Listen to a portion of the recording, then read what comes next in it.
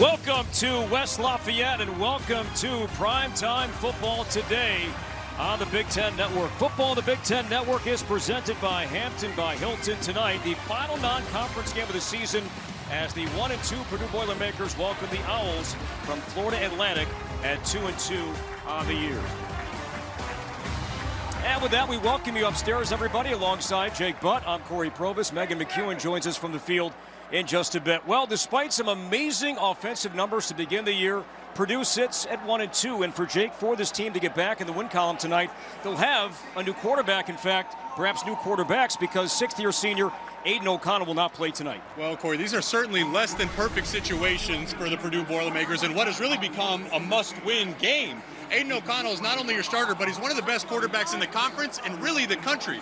But Jeff Brohm thinks he has two very capable quarterbacks in Burton and Alaimo. Now, in a perfect world, you have a decided, definitive backup quarterback. But this battle has gone on all the way back to spring ball. And for these guys, not only is it your chance to go win a game today, but it's a chance to prove to yourselves, your teammates, and the staff that you are the guy for the number two role to back up this Purdue offense. So Burton will start, but we will see plenty of Alaimo as well tonight. So O'Connell is but whom we will see on the field tonight is maybe forget the Big Ten, one of the best wide receivers going in college football in Charlie Jones. Well, and he had so much chemistry going back to Pee Wee football. He was roommates of Aidan O'Connell when he came here. He's not going to be afforded that luxury with these two guys today, but I believe he certainly proved to that quarterback room in critical situations when the money's on the line. Throw it up to 15, and he's going to come down with it. I imagine as both these guys are trying to make their stamp on the Purdue offense, they're going to be dialing up Charlie Jones early and often. Yeah, he is flourishing in this high-powered Purdue offense, so he is a great story. And speaking of good stories, starting at quarterback tonight is Austin Burton. And for, for more on him, we send it down to the field and say good evening to Meghan McKeown. For years, Austin Burton's mentor has been telling him to stay patient and trust the process. And if anybody knows a thing or two about staying patient and trusting the process, it's Tampa Bay Buccaneers quarterback Tom Brady. Brady and the Burton family have been friends for years, dating all the way back to Brady's time in New England. In fact, when Austin was 10, he had the opportunity to go on the field with Brady and toss the ball around. Who better to play catch with, by the way, than a future Hall of Famer? These two have maintained a relationship throughout the years. In fact, when Austin was at UCLA, he had a missed call from an unknown number. It was Tom Brady who left a voicemail saying, Austin, stay patient and trust the process. Your time will eventually arrive. And I guess Tom Brady knew what he was talking about because Austin Burton's time has officially arrived as he makes his first career start at Purdue. All right, Megan, thank you very much. Atlantic won the toss and defer to the second half. So Purdue will get the ball first to begin the game tonight. Don't forget to download the Fox Weather app today. A beautiful night. How about 72 degrees, partly cloudy, light winds, wonderful atmosphere.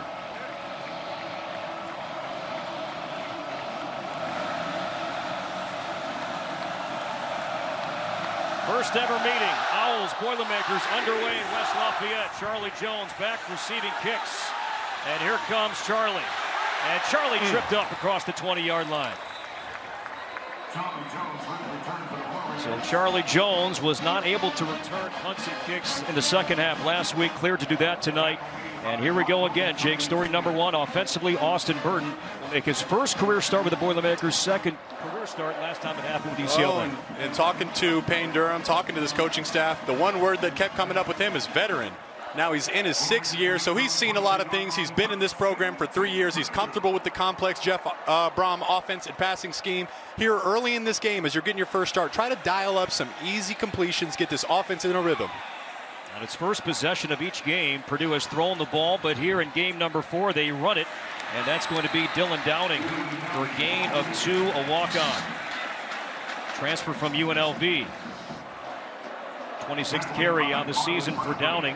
King Doerue is out again tonight as he's dealing with a calf injury, so Downing the starting tailback. We'll see the walk-on Devin Mockobee and maybe Kobe Lewis in the backfield for Purdue tonight.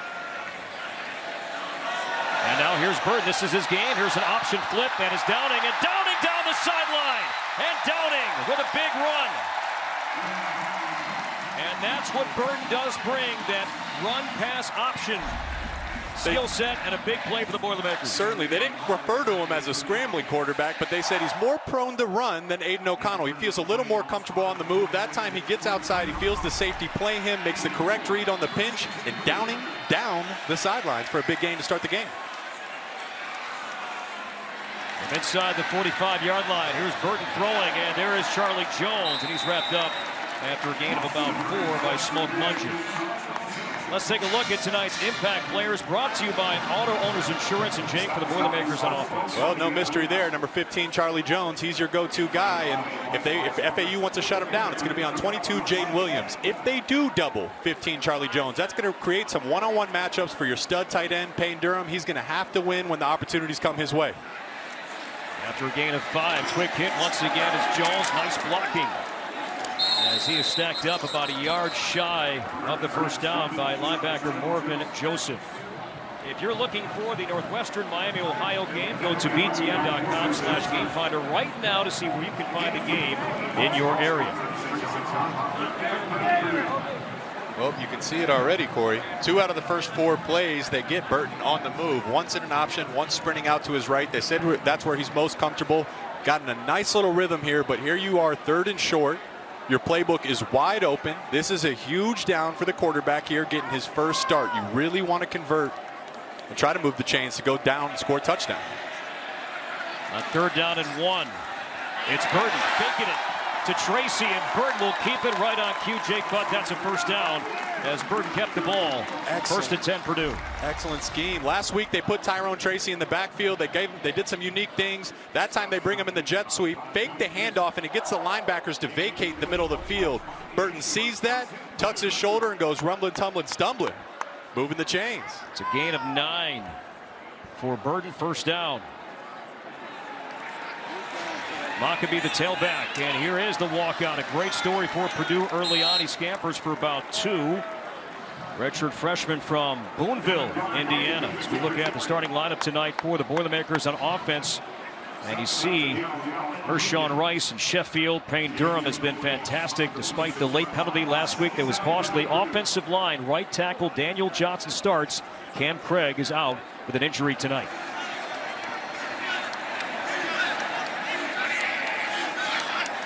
Two. It's Burton. Throws. Mockobee the catch. First down as he's knocked out of bounds inside the 15-yard line by Armani Eli Adams. Burnett all day. That is a great scheme. FAU's bringing the, the blitz off the bottom of your left side screen here. Mockobee bluffs him, and then no one has him in man coverage. Burton sees that, throws a nice back shoulder play, nice back shoulder ball, easy, comfortable catch, and right now, Burton in a really, really good rhythm. Just been marching steadily down the field, putting the pressure on this FAU defense. That time, an excellent scheme by Jeff Brohm and the Purdue offense. On first and 10 from the 13 yard line, they set up the screen to Jones, and that's well contained by the Owls. Smoke Mungeon among those that provided the containment for FAU. As for the Owls on defense, Jacob Merrifield, redshirt freshman, it's a young, young front for the Owls. Jaleel McRae back this week. Did not play the second half due to a targeting penalty in the loss at home against UCF.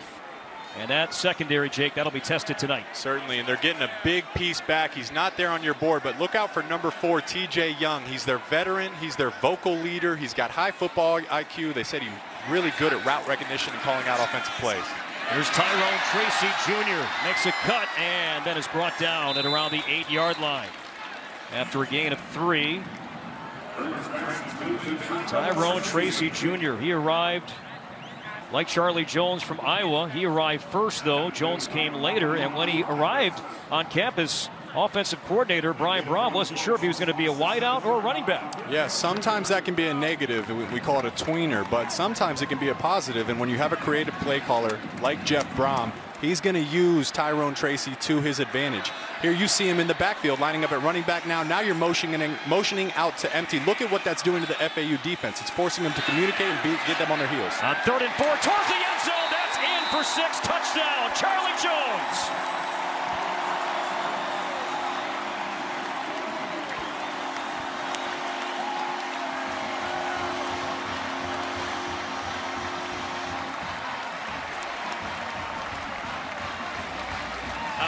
Outstanding drive by Purdue. Burton and Jones connect for six. And the Boilermakers are on the board. This is just my guy on your guy. Nothing, nothing too crazy about this. Just an out route. And Jones, he is a technician running routes. Little five-yard ball, and then Burton delivers a strike. He was really accurate. You, you could feel how comfortable he was on that first drive. We talked about it. The first 15 plays are scripted. That's on Jeff Brohm doing a great job getting his quarterback comfortable and into this game. Extra point up and good from Mitchell Fineran. O'Connell out. Burton in, leading a touchdown drive to begin the night for the Boilermakers. A 77-yard drive. Burton to Jones. Purdue by seven.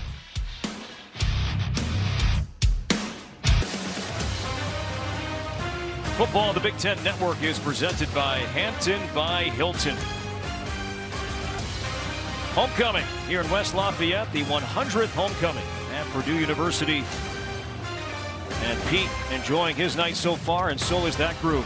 10 play drive, 77 yards. Charlie Jones finds the end zone for the sixth time this season. First time, though, that Austin Burton threw him the ball for a Purdue score. Jay Sean Platt awaits the kick from Chris Van Ekeren. And no return for Platt, and the Owls will have the ball from their own 25-yard line. Jake, let's go back to the drive led by Austin Burton a moment ago. So one thing to note here is you come into these games with your first 10 to 15 plays scripted. So this is a great job by Jeff Brohm understanding what his quarterback does best. Where is he most comfortable? You see some easy, quick screen passes not asking too much of him, not asking for him to make six, seven reads downfield, but just throws that are going to get him confident early in this game, get it to your best receiver in Charlie Jones, and get you on the move, which is when he's at his best. So that great job by Burton, but certainly an excellent job by uh, Jeff Brohm getting his quarterback in an early rhythm. The Owls quarterback is sixth-year senior N'Kosi Perry, and this is an Owls team that will try and run the football tonight. They do so with Larry McCammon, junior from Hoover, Alabama. Perry began his collegiate career at Miami, his second year at Boca Raton. 10 touchdown passes already this season, fifth best in FBS. Yeah, he's been he's been a stud. And listen, this Purdue defense, it's no hiding it, especially in the secondary. They have struggled with defensive pass interference, with penalties, and giving up shots down the field. So N'Kosi Perry, he's going to provide an excellent test to see if the secondary has made any changes. And on the jet sweep, spinning across the 30-yard line is LaJohntay Wester. I'll tell you what. As we take a look at our impact players brought to you by Autos, Auto Owners Insurance for the Owls and offense, Jake. Well, Larry McCammon is known for running the ball, but that last play, he laid the wood on an excellent block on Kieren Douglas. And listen, if we know FAU wants to run the ball, then how do you stop it? You need a big fella, Branson Deen, in the middle to create some havoc. And one thing he does better than anyone on this defense is leadership critical situations, they're going to rely on him to get this defense on the same page and playing high-quality football. Purdue has been very good on third down defense to start the year. It's McCammon trying the middle. He is stacked up, and he is short. Lawrence Johnson, number 90, plugged that hole from the get-go. No gain. It's fourth down. This is huge. You just go down and score. FAU's trying to answer. And third and two. This is an identity. We talked to Ron English. He said, well, our defense needs an identity. At some point, you got to say, these guys are coming into our house and stealing our cookies. That time, Lawrence Johnson said, you're not taking my cookies. Stones the back. He meets a brick wall and stops him. And now you get the ball back in your offensive's hands. A chance to take command here early in the game for Purdue. No defensive coordinator, defensive line coach Mark Hagen. Love the effort from this group on third and short. Charlie Jones back to receive the Riley Thompson punt. And a good boot from the Aussie, sending Jones back to the 10. And he has stood up at around the 12-yard line. Good punt from Riley Thompson, pinning Purdue deep. About a 57-yard boot. Boilermakers up by seven will have the ball when we come back.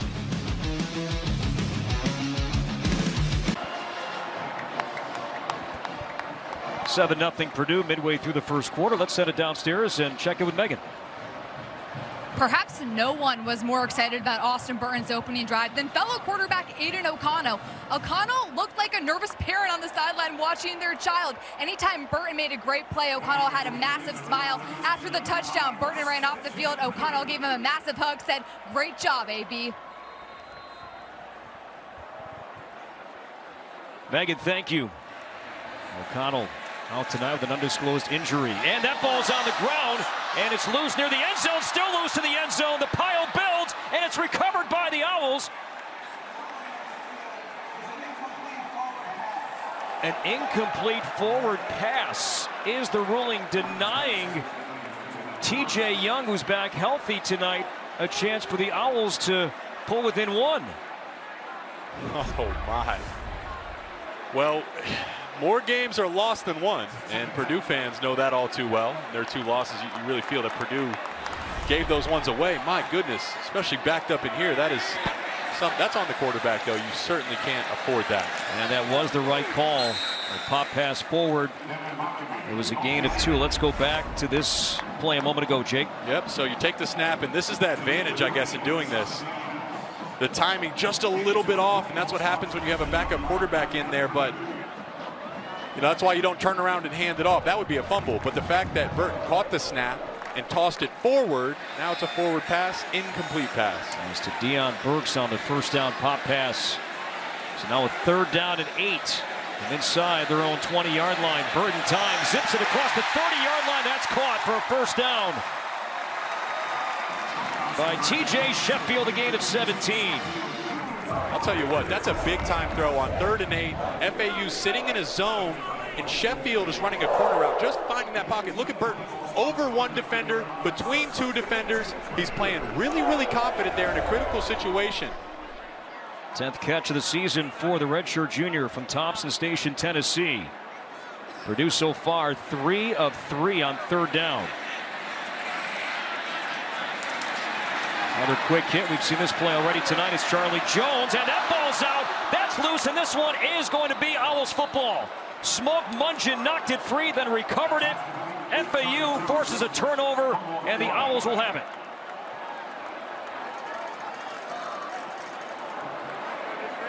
Well, and there is number two for the Owls, Romaine Smoke Mungeon. Just as you exhale, you think, all right, we dodged a bullet. You give it right back to him. Smoke Mungeon, the best cover corner on this FAU defense. And that time, we call him a ball hawk. Charlie Jones just a little loose with it. You really got to tuck it, and he's cradling the ball too much. And Smoke Mungeon says, I'll take those cookies. Just like we were talking about, strips the ball out and gives FAU a chance. Gosh, man, it's just, it's frustrating. Purdue team, so much talent. They've played so well for the majority of so many games, but at times there's been these massive mental lapses, and that's been what's cost them here early in the season. Once again, playing FAU, two fumbles realistically. One was bailed out on that drive. Third lost fumble for Purdue this year. Now Perry looking deep for Wester, and that's out of bounds.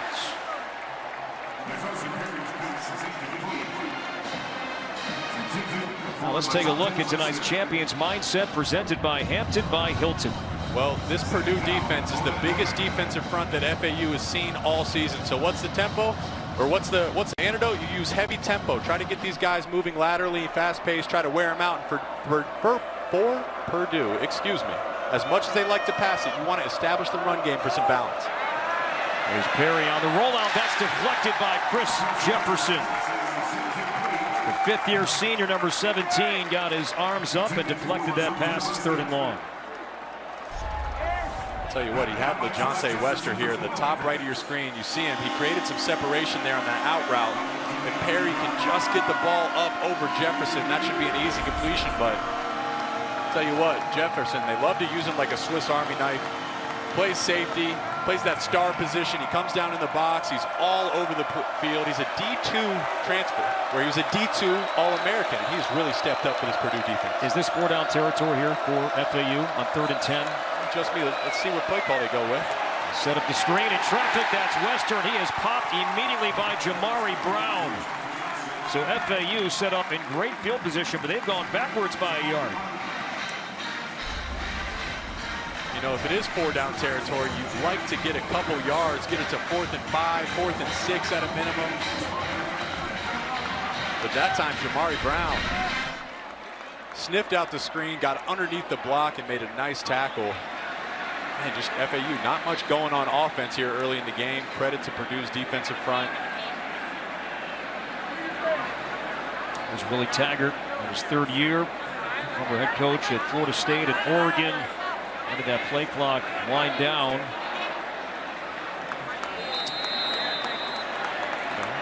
And there's the flag, and this will be a delay of game. Delay Thompson, game. more room. Offense. Penalties decline. Fourth down. Purdue declines that.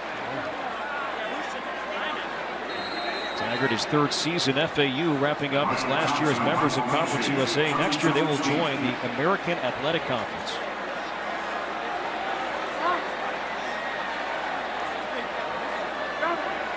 So Thompson boots it from his own 45. And Jones, fair catch at the 10. So Purdue's defense stands strong, makes a stop.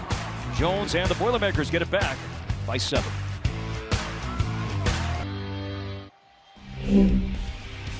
Now Purdue's season this year, you go back to week one.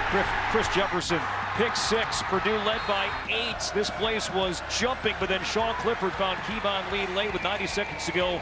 And Penn State won the game by four, 35-31 last week. It was penalties up by four. Payne Durham and Jeff Brohm both drawing on sportsmanlike conduct penalties. Syracuse had great field position. Garrett Shrader to Oronde Gadsden for the game-winning score with seven seconds to go. And with that, Purdue is one and two instead of possibly three and zero. And now here is Downing with a great run. Downing down the sideline. He's out of bounds near the 40. Charlie Jones laid a great block to give Downing a ton of space. A 23-yard run. Well, Downing's had a couple really nice runs here to start the game. You got your Polar coming around. Payne Durham's getting in on the action. Charlie Jones blocking downfield. There you have, I believe it's Mershawn Rice blocking down the field. That's a complete offense, man. One thing, you, you take an eight-yard run and it turns into a 20-yard run by having your receivers involved in the downfield blocking. That time, Jones and Mershawn Rice, they were the difference there in letting Downing break it down the sideline. See how well Purdue is doing on the ground so far tonight. That's been an issue for a long time now here in West Lafayette. Here's Burton stepping up. Under pressure, keeping the play alive. Fires downfield, incomplete, well contained by the Owls. Looking for Jones, getting two FAU defenders around him. Well, next Saturday, we are all Big Ten all morning. Dave and the guys preview every conference matchup while Mike Hall and Brock Vereen deliver all the fun from the Twin Cities. Big Ten tailgate presented by Range Rover Sport next Saturday at 10 a.m. Eastern on the Big Ten Network. Dave, Jerry, Howard, and Nicole from Minneapolis next week. Kobe Lewis checks in a tailback for the first time. Here's Burton with an option. He'll keep it and lower the helmet out near the 40. We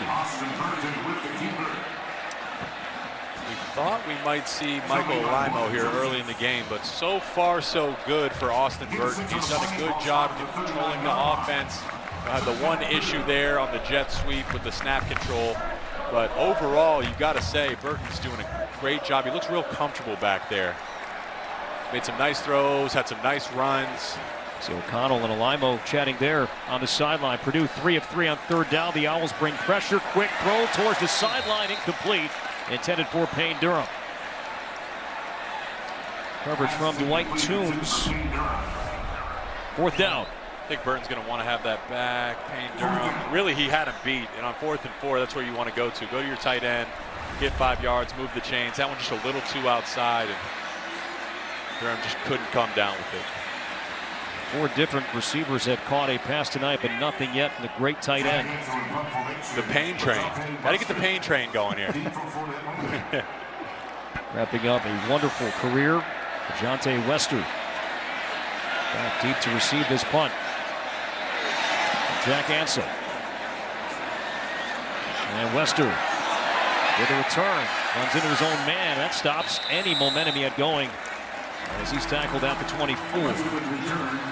That ball, that ball come out. We'll sort it out, come back. Beautiful night in West Lafayette, Purdue by seven.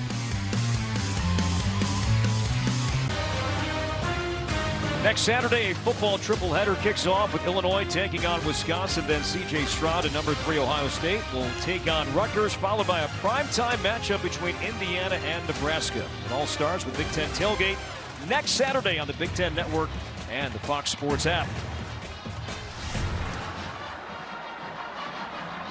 You see Michael Alaimo now taking some snaps. He has a helmet on. Austin Burton so far, Jake, three drives, but will number one come in next? We'll find out after FAU starts this drive. That's a run. So Barry Mobley. His first carry tonight. Redshirt freshman from Miami brought down by Branson Deen. Well, FAU really wants to get into tempo, but there's this delicate dance. You have to get some momentum. You got to get a first down before you really start firing. So I imagine if they move the chains here, their tempo is only going to increase on this drive. FAU so far 12 total yards of offense, and Mobley trying to change that and dives near the 35, and that'll be the first first down tonight for FAU. The strength really of this offense is their veteran offensive line. Their youngest guy is a redshirt sophomore, meaning three years playing at the college football level. So these guys have seen some things. Purdue's going to bring a lot of blitzes. They feel confident this line can hold up and answer the call. It's Mobley again, third straight carry, and flag comes in. As the ball comes out, blown dead for now a gain of two. Kieren Douglas made the stop. Our referee tonight is Mark Holding. Kozlinski. Defense number 58. 10-yard penalty. Automatic first down. This is this is a very unique call. Holding defense number 58. So Branson Deen is on the inside there. They're trying to double team him up to the backer. While sometimes these D tackles, what they do is they grab the offensive lineman to prevent them from climbing to the second level. That time it's a great catch by the judge, and he rightfully calls Branson Deen for holding. Near the 45-yard line. Now the Owls will be back inside Boilermaker territory for the first time. Aaron McCammon with the carry that time picked up eight. Now we see the tempo, Jake. There it is. And no substitutions either, so you're preventing Purdue the opportunity to comfortably rotate in new defensive and fresh defensive linemen. There he threw that one into traffic, and that's caught by Wester. And he'll be brought, shoved out of bounds about two yards shy of a first down. So far, everything has been about the line of scrimmage here for FAU. They haven't tested Purdue's defensive secondary downfield, but how about this? Look at this formation and look at Purdue's defense. Purdue is sitting there, as they always do, with one safety in the middle of the field. That means you have single coverage on those two receivers outside. And he'll be short. It was McCammon on the third down run. He was brought down by Semisi Fakasiieiki. Okay. Battling an ankle injury throughout the year, but made a stop, so it's fourth and short. Fourth and short. You got the veteran offensive line of FAU, but what did Ron English say, man? He said he challenged these guys, man, attitude in situations in the two minute, the end of game, and certainly fourth down and short is one of those situations. You got to have a certain attitude that says, I'm drawing the line in the sand, and no matter what you do, I refuse to give it up. It's a boot for Perry. He'll throw to Wester incomplete. Oh my. And there is a flag. Flag down inside the Purdue 30-yard line. You see the Purdue crowd. Ari Brown and the Purdue fans look concerned and Prior to the uh, pass. Holding. Defense number seven. 10-yard penalty. Automatic first down. Jamari Brown starting tonight. Reese Taylor out tonight with an injury. So Jamari Brown, transfer from Kentucky, flag on the fourth down play. They're running that deep out route right, right there again and again.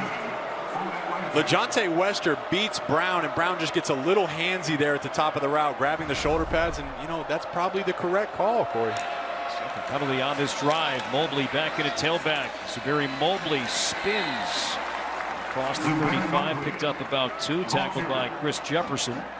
About 65 seconds to go until the end of the quarter. Going back to that holding, whether you like it or not, Ron English challenges guys, said, listen, this is the way the games are being called. You guys stop putting it in the hands of the refs. Just play good defense. That time, is it is it enough? Is it not? Well, listen, the ref called a holding, and it certainly was enough to be called. You just can't do that. They're the second most penalized team of the Big Ten entering play this weekend. Here's an option run. And here's Perry with a first down burst inside the 20.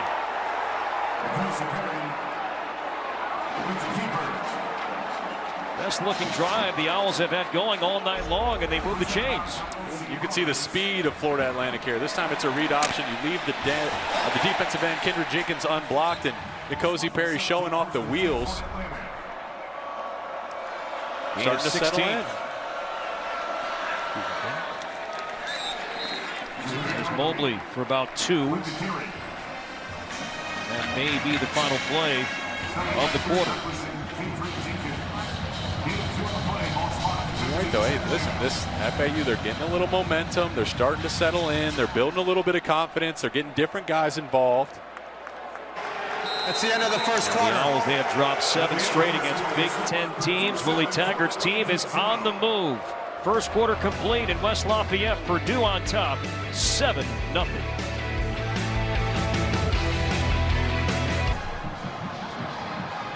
Welcome back to West Lafayette. This was Jeff Brohm while we were away.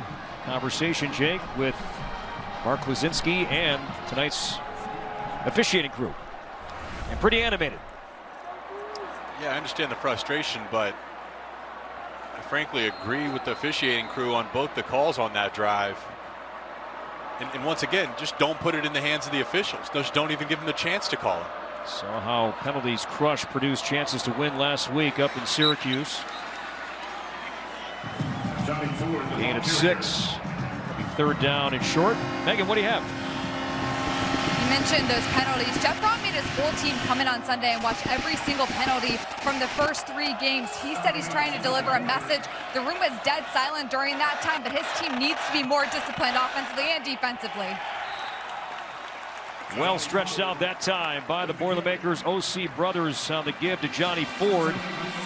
So it's fourth down and short. Decision time here for Willie Taggart and the Owls down seven on the road, but they are going to say, you know what?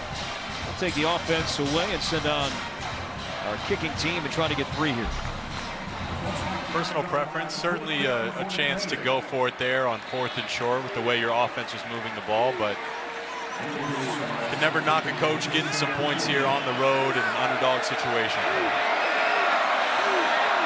26 yard try for Morgan Suarez. Left footed kicker, 4 5 on the year. And this one is good. Inside the left upright. So the Owls with a good drive. Perry and the Owls are on the board. 7 3 is our score, early second quarter. Across the Big Ten today, coaches are wearing the logo of Coach to Cure MD to raise awareness for Duchenne muscular dystrophy, the most prolific genetic killer affecting young men. Fans can learn more about this cause at CoachToCureMD.org. You can make a one-time donation of $25 on your next mobile phone bill by texting the word CURE to 501-501. Because we are proud to be a part of all weekend long. Homecoming here in West Lafayette, 7-3 Purdue. Early on here in the second quarter. Charlie Jones and the Boilermakers will get the ball back. So how about this? Yards per attempt rushing, Purdue 10, FAU 4. Yards per attempt passing, Purdue 6.5, FAU 0.5. Third down conversions, Purdue is 3 of 4, FAU is 0 of 4. Yet, the score is 7 to 3. This has kind of been the identity. You are what you put on tape. Purdue has consistently outgained their opponents in terms of yards. But it's been critical moments throughout the game that have cost them opportunities to win on a consistent basis. There's Charlie Jones, and he is walloped across the 20-yard line. Hit hard. Jones a little slow to get up. Return of 16. One-time Deerfield Warrior, and we have ourselves a new quarterback, Jake. So it was Burton in the first, and now the second quarter is going to bring out Michael Alaimo. Well, I hate to say this too, but Charlie Jones, after that hit, he walked over to the sideline. He is not in the game, so Michael Alaimo here on his first snap will be without with it, without his best receiver on this specific play. Limo third career game, redshirt sophomore from Montvale, New Jersey. He can throw it, and Alaimo does into some traffic, incomplete near the 45-yard line, intended for T.J. Sheffield.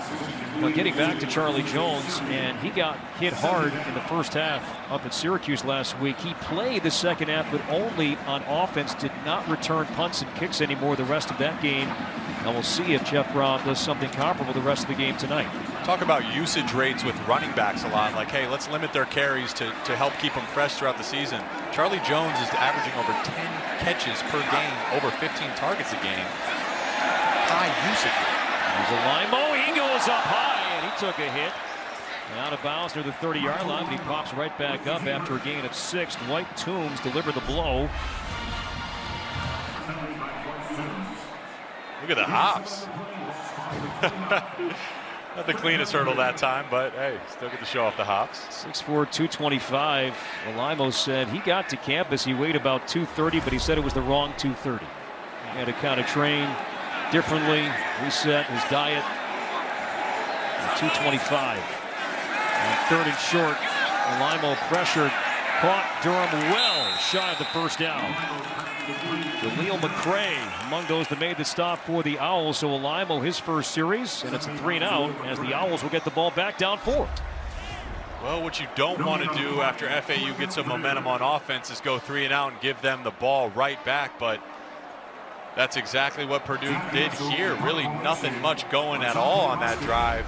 I'd imagine going back to it, Austin Burton to me looked good. He looked in command of this game. I know it wasn't perfect but he was making some quality throws. That time, Michael Alaimo didn't get much going on the drive. Interested to see if they go back to number 12, Austin Burton, next time they get the football. Jeff Brohm told us yesterday that both will play. Another good punt from Ansell. No chance for Wester. This is going to bounce inside the 10 of beauty from Jack Ansell. Inside the five, and number 30 fired up and for good reason. A 67 yard punt. The Aussie doing just fine in West Lafayette.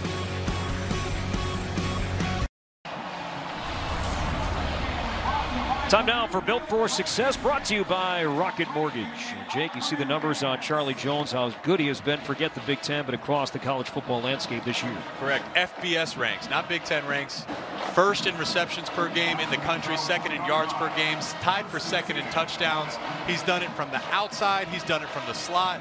He's such a weapon, an integral part of this offense, but you know, he had that fumble early in the game. You'd like to see him make up for that with a big try to put some points on the board for Purdue.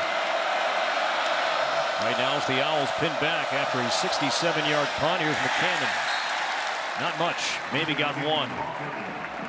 Let's head back to Chicago in time now for a T-Mobile studio update. Here's Dave Revsine. Uh, Cory, Ohio State is absolutely hammering Wisconsin. Cade Stover already with two TDs. It's 21 0 and the Buckeyes are driving again. All right, Dave, thank you. Much closer game here tonight in West Lafayette. And second down and nine. Again, not much is happening for McCammon and his FAU ground game. No gain of the play. OC Brothers on the stop. Cory, I can't help but notice that Purdue is sitting comfortably in this cover one defense, meaning you have one safety sitting back there in the middle of the field. This puts a lot of stress and asks a lot of your corners and your nickel back. You're basically having to cover these guys one-on-one -on -one all game. FAU really hasn't tested them downfield hardly at all to start the game. You're wondering if they get to that at some point. So just one yard passing, and they're going to run it on third and nine. And McCammon fighting and spinning, and he'll have a first down near the 15.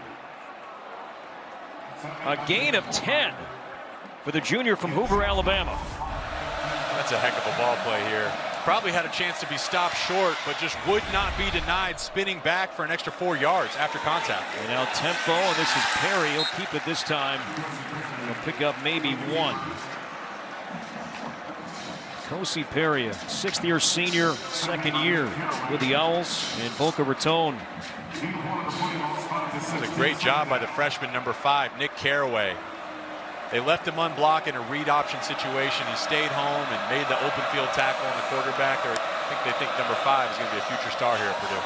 Option toss. Here's McCammon. And he'll plunge forward across the 19 to the 20 pick up four, setting up about a third and five. It's been McCammon. It's been really the ground game so far tonight. The Owls, you saw the note, only one yard passing here tonight. They ran it on third and nine. We'll see what Willie Taggart does now on third and five. They haven't really even tried the downfield pass. Just a couple boots out to the right trying to hit some corner routes, but look at how low Purdue's defense is. Five receivers set. This one floated near the 40 and coming back and catching this one is Austin Evans.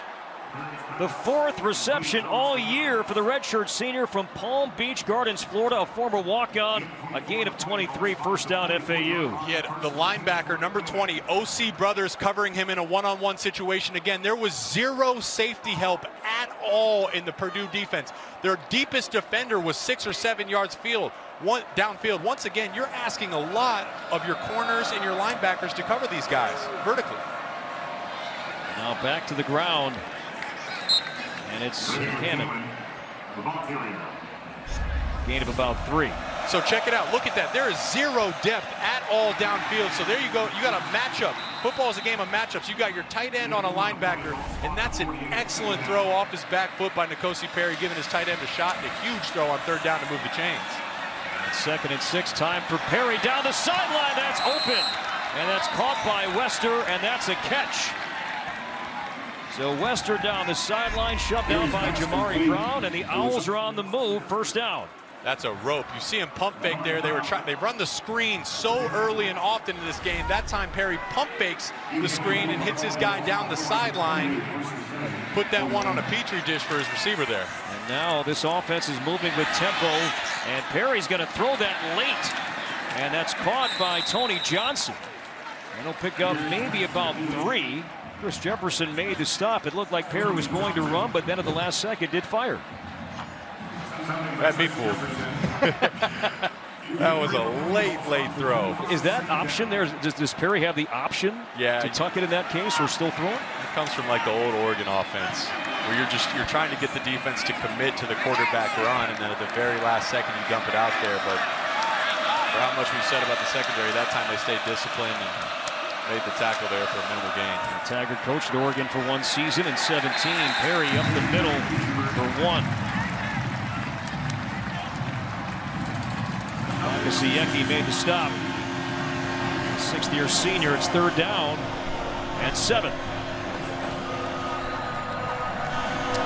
On this third down alone, FAU has converted twice, both their opportunities. They have been able to stay on the field. Now you're backed up in the red zone.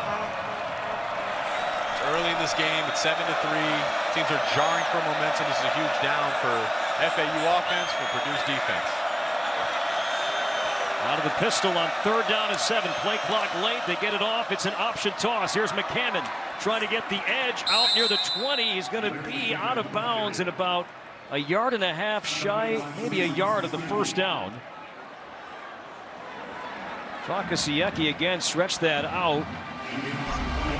First down, the line to gain is the 18, and he is going to be shy of that. You might say, hey, why do you run it on third and seven? Well, you run it understanding we're going to go for it on fourth down. I think that's why you do that. Say, all right, hey, maybe we don't get it all, but we're going to get ourselves into a fourth and short situation. And at that point, we're going to keep our offense on the field. They are going to measure this.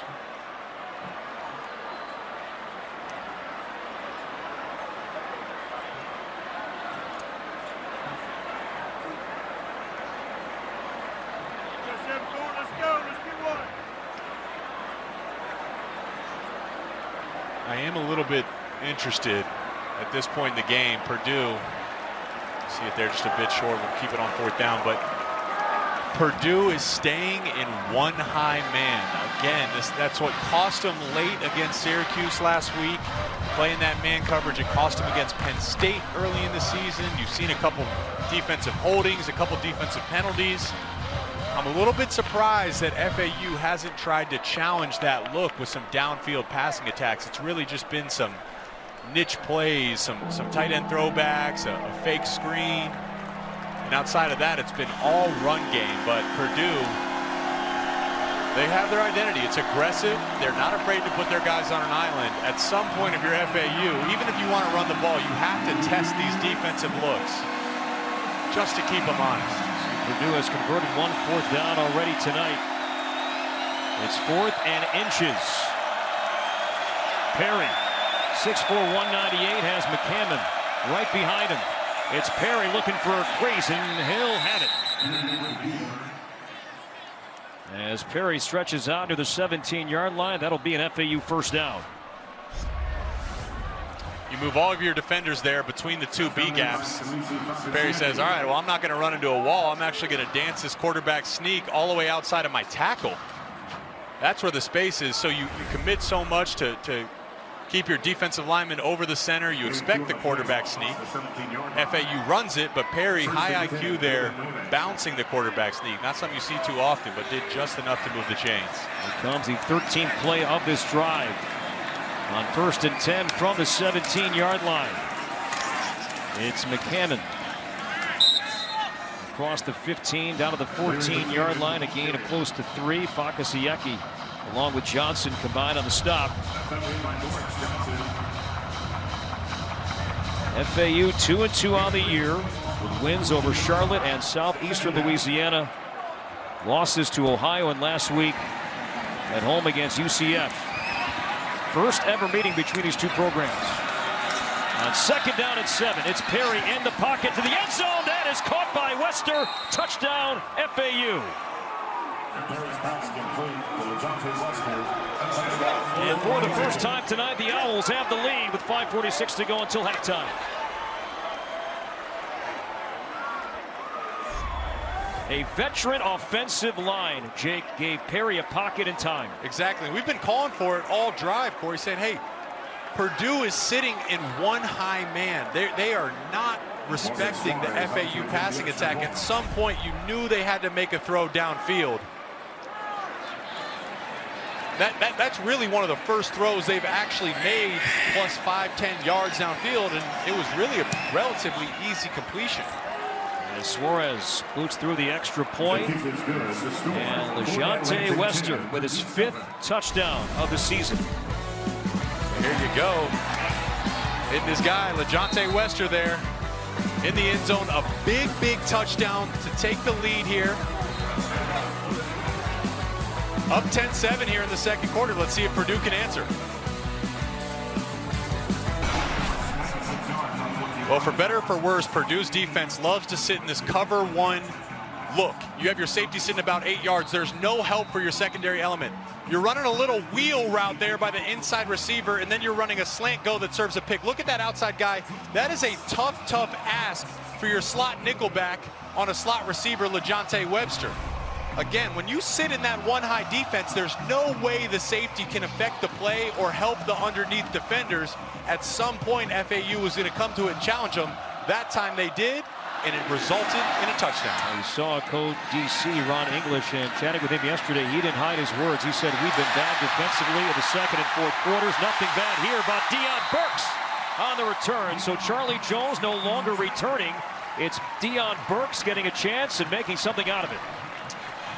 I asked coach yesterday, I said, hey, who's got, if you had one pick, who's got the breakaway speed out of this receiver group? Well, he said number four, Deion Burks. So Charlie Jones out, Deion Burks in. That time, that's just a track meet. He's running the 200-meter dash down the sideline. That is a huge, huge way to capture some momentum back in this game. And notice that. Look who's back in the game at quarterback. It's Austin Burton. So Michael Alaimo, Alaimo got one series, and now it's Burton 8 of 11 passing, 52 yards and a touchdown. I think you stick with Burton. You said it, 8 of 11. At this point, he's been the most comfortable guy. Late clock here, Jake. And they just got it off in time. And here is Downing trying the right side, picks up a couple. Smoke Mungeon made the stop. Again, a Purdue backfield missing King Doerue once again, sideline with a bad calf but averaging 10 yards per carry. Now down to about nine yards per carry after that run. So, you know, they're very pass happy, but their rushing attack has been a lot of seen a lot of success here early in the game. After a gain of two, Up the middle, it's Downing again as the pile builds across the 50 down to the 48. Be third down and about three. Well, tomorrow, stream women's soccer live on the Big Ten Plus app as the Boilermakers face the Spartans. There's no place like home. Download the Big Ten Plus app and subscribe tonight.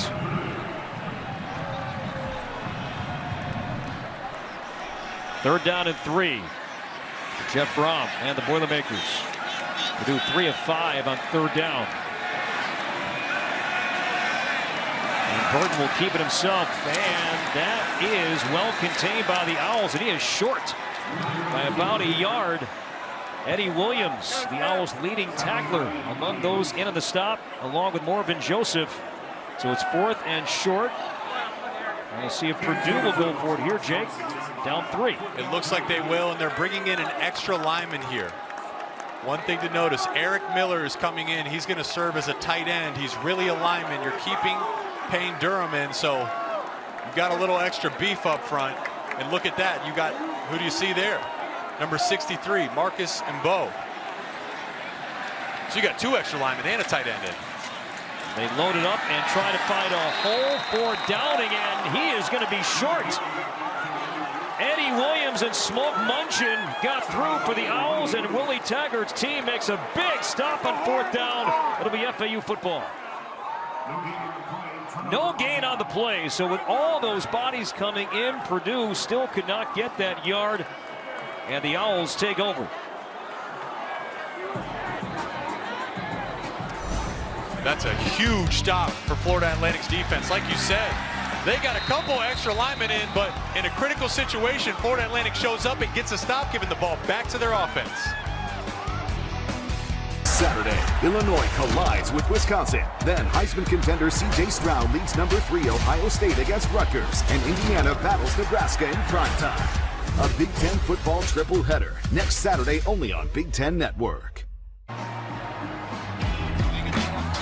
Now coming up, stick around for the Reese's Peanut Butter Cups halftime show. First half analysis, Dave, Jerry, and Howard. Wisconsin, Ohio State update, and the Golden Gophers. Somebody during our production meeting last night was pretty pretty high on the Gophers, and the guy to my right, he may grab an oar. He's, he's pretty fired up right now. The Owls offense fired up as well. Another good play on first down. Across the 40-yard line, it's Johnny Ford playing his second game of the season. Good play. I'm going to raise you one. How about a great play? That was just a little screen, but a lot of misdirection. Really confused the Purdue defense, and what is really a six-yard pass in air turned into a big game—a 14-yard game. Here comes the tempo, and now the Owls go back on the ground.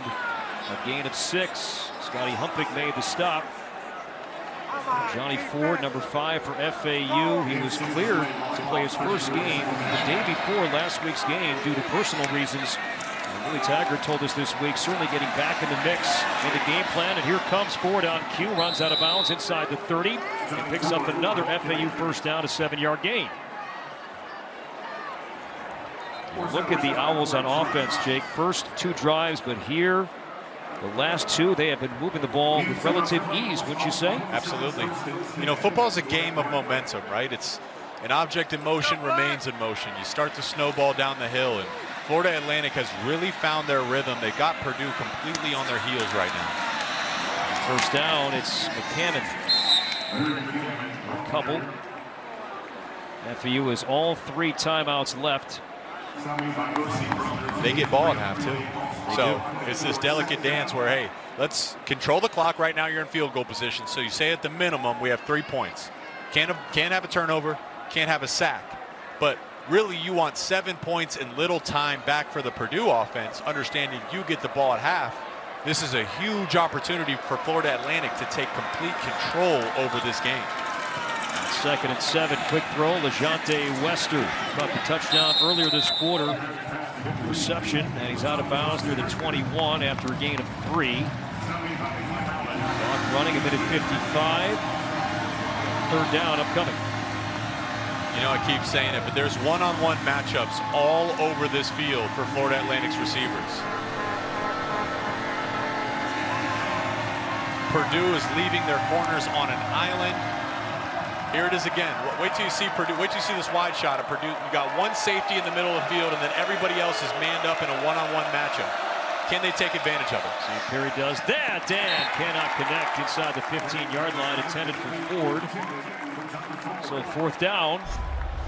So it'd be about a 38-yard field goal try for Suarez. Should they go that route? Clock stops. A minute 27 to go until halftime. But he had him. He had him. He had him by a mile, really, in this game of football. When you're separated by three or four yards, that's a wide open pass. N'Kosi Perry, the veteran, would love to have that one back. But again, I just I think if you're Florida Atlantic, you say, hey, what is Purdue giving us? One-on-one matchups. You got to challenge them downfield more consistently here in the second half. Officially a 39-yard try, high snap handled, and Suarez is good. Second field goal for the redshirt freshman Morgan Suarez. So the Owls add on and now lead 13-7. Purdue will get the ball back.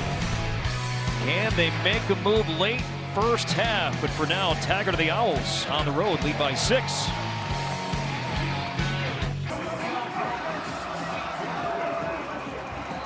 Purdue will have the ball down 13-7. Minute 23 to go. All three timeouts. Late second quarter. Again, Charlie Jones not back receiving kickoffs. Kobe Lewis is back. The 25, Deion Burks, number four, had a great return last time, and this will be Burks again. Can he do it again? Here's Burks. And he leaves his feet. He goes high, and he stood up and tackled near the 25-yard line. A return of about 20. As we look at second quarter numbers, it has been all FAU, just 16 total yards of offense for the Boilermakers as Burton's coming back out. If you missed the news at the start tonight, Aidan O'Connell is out tonight with an undisclosed injury. And Jeff Brohm told us yesterday both quarterbacks would play. It's been more Burton Jake than Michael Alaimo. Alaimo had one series. It's been pretty much number 12 tonight. On first down, and it's Durham. And Durham across the 30. As the clock is running, you thought that Durham should be in play here late first half. Tight ends, bigger target, wide catch radius. They run those favorable routes, six, seven yards, just easy throws for your quarterback. Just a good target to get him back comfortable in this game. Step for Durham tonight after a gain of eight. This one towards the sideline. That is tiptoeing Mockobee. Yeah, the man that's known as Crazy Legs by his head coach, and those legs were rather crazy, not display there for a first down. Living into the nickname, right? These backs have caught the ball really well out of the backfield today. Cory, they made a couple plays. Sometimes those checkdowns, you know, they're not the sexy throw, they're not the 45-yard throw down that, that makes the highlight tape, but you just get it to your guy in space. He makes one guy miss, and all of a sudden you got eight, nine yards. Second reception for Mockobee, and now with 50 seconds timeout. to go, a timeout Atlantic. They're first to the half. This is a 30-second timeout. We'll take a 30-second timeout. Final 50 seconds until halftime. Purdue. So far, 19 yards on this drive. All three timeouts, down six. On first down, wide open is Mockobee. Well-designed play, and Mockobee is shoved down near the 30. His third reception tonight is a big one, first down Purdue. Just before the break, we talked about how clean his hands have been today. He's been really involved in the passing game. Once again, maybe you don't expect a lot of your quarterback in his first start to throw the ball downfield, but he's comfortable certainly hitting the checkdowns out in the flat and letting your playmakers do the rest. Gain of 31. Here's Burton stepping up, pressured in trouble, and will let that one go out of bounds into the FAU bench. Pressured from Jamie Petway. That one's not going to make the stat sheet, but that is a huge play, Cory. That one looked like a sack all the way. O'Connell watching from the sideline, hoping Burton can lead the Boilermakers on a drive. Stick around for the Reese's Peanut Butter Cup halftime show with Dave and the guys here momentarily. Burton 11 of 15 passing. His first start with the Boilermakers' second career start. For tonight, his last start, his only start was with UCLA back in 2019. On second and 10, over the middle, that's caught.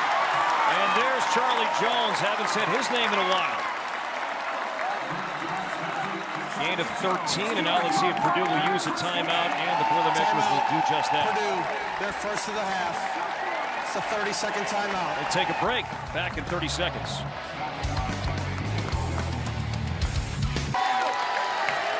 Boilermakers on the move, down six, two timeouts left, 32 seconds to go until halftime.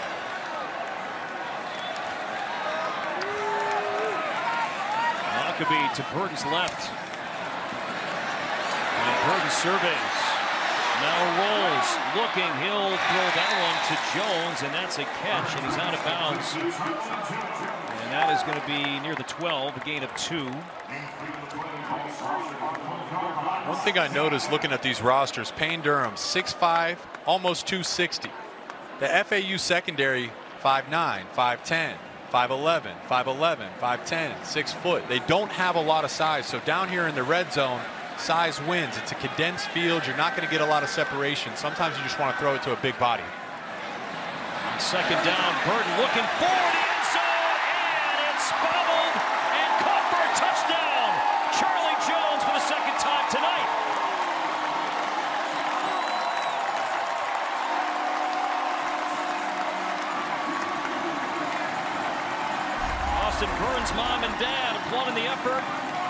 Wonderful throw, phenomenal catch.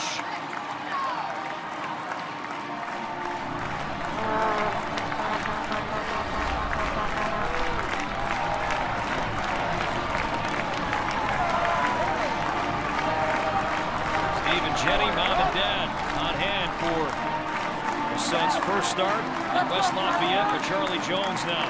Two more touchdowns, seven on the year. And a guy leading the Big Ten in reception yards, touchdowns, and receptions, period, adding to those gaudy numbers with a big first half tonight.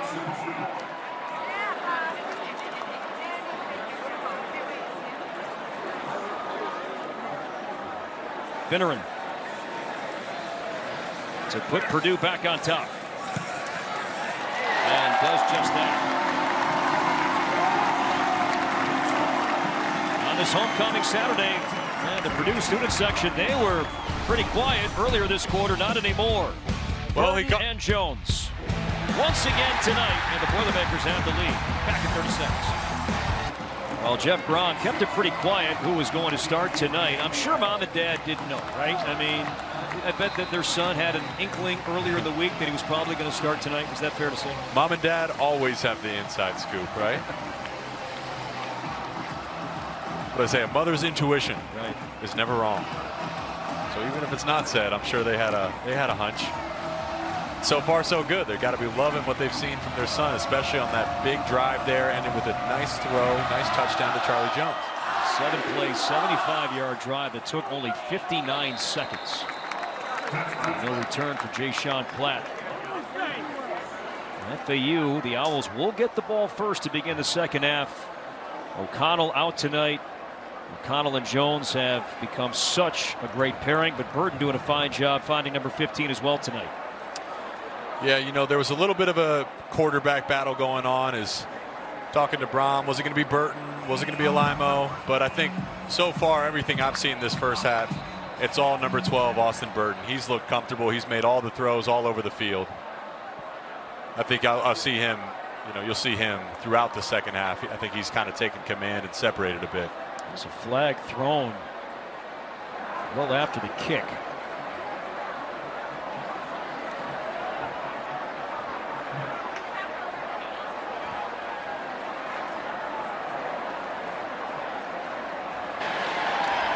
Illegal uniform numbering.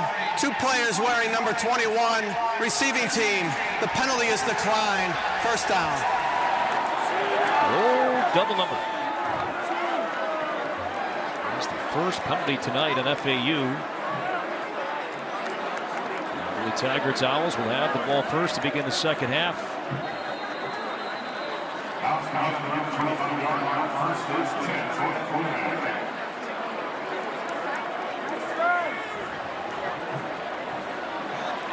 N'Kosi Perry, 8 of 11, 82 yards. He's running for 20.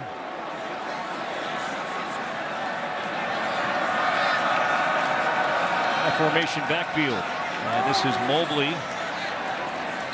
And he's tackled at the 29. Doesn't look like either side will burn a timeout, and that'll be the final play of this first half. We have ourselves a game. First ever meeting between the Boilermakers and the Owls, and behind a late second quarter touchdown drive, Purdue is on top by one. Austin Burton, two touchdown passes. Now let's head downstairs to Meghan McKeown. Coach, you end that quarter with a touchdown drive. What are you seeing from Austin Burton in this first half? Well, I think he's playing hard and uh, he's done some really good things for us. We just got to get back in a rhythm. We got to execute more, be way more consistent on offense and on defense. And we got to stop the run. We got plenty of guys in there to stop the run. We're not doing a very good job. Specifically, how do you stop the run adjustments you make at halftime?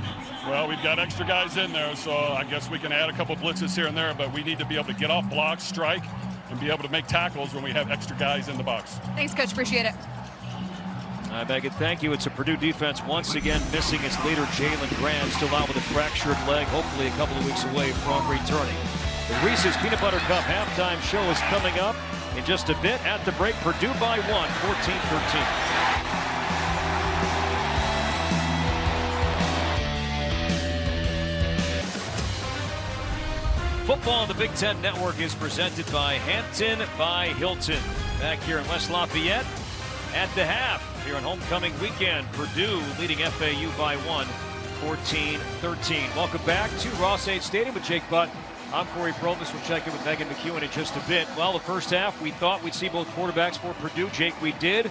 But I think as the second half begins here, Purdue has probably settled on one. There's an old saying, if you have two quarterbacks, you have no quarterbacks. And for Jeff Brohm, in an ideal situation, you don't have a quarterback battle. You want one guy to separate.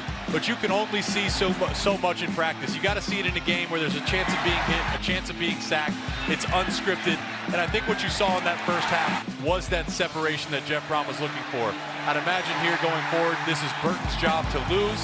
And if O'Connell's out for an extended period of time, they're going to rely on Burton, Burton beyond this game. So you look at the numbers, he's had a great half, 14 of 18, 127 yards. He's been extremely efficient, but I also look too for something that goes beyond the numbers, a certain energy that they carry.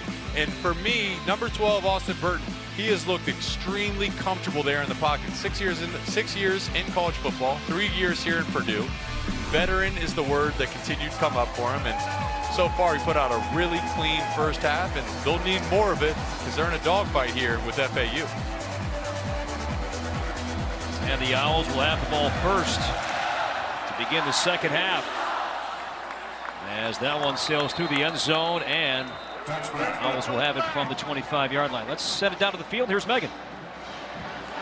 I spoke to FAU head coach Willie Taggart, who said he was really happy with his running game in the first half, as he should be. His team rushed for 106 yards. He says his backs were doing a great job, as was the O-line. They need to keep that up in this second half. Defensively, he says they need to make sure they do a better job reading the passing from Purdue. He wants to make sure they have more players in coverage if the pass play is happening. Hi, Meghan. Thank you. Willie Taggart, his third season. Owls have dropped seven straight games against the Big Ten. Last time FAU beat a Big Ten foe, 2007, against Minnesota. Here's Perry on an option. He'll keep it. He takes a hit in 30, but still picks up an additional two, a gain of seven. Cam Allen hadn't called his name much tonight. Made the stop. Nice play by the offense. Nice hit by Cam Allen. And we're back, folks, coming out of the second half. Football is here. As we said right before halftime, this Purdue defense is missing its leader once again. Jalen Graham is out. Still recovering from the fractured leg that he suffered against Penn State in the opener. Still a week or two away. Third down at about three. Perry. And Here's the FAU offensive coordinator, Brent Dearmon. In his first year came to FAU from Middle Tennessee State. He said this week that if we don't run the football, my dad won't talk to me. his dad, Roger, legendary offensive line coach in Alabama for more than 40 years. He's watching tonight near Mobile. If we don't run, dad is mad.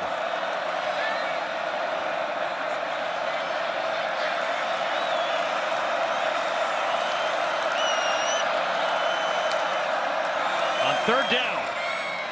Incomplete. Intended for Wester. And FAU three and out on its first drive here of the second half. Jamari Brown and the Boilermakers make a stop, and Purdue will get the ball.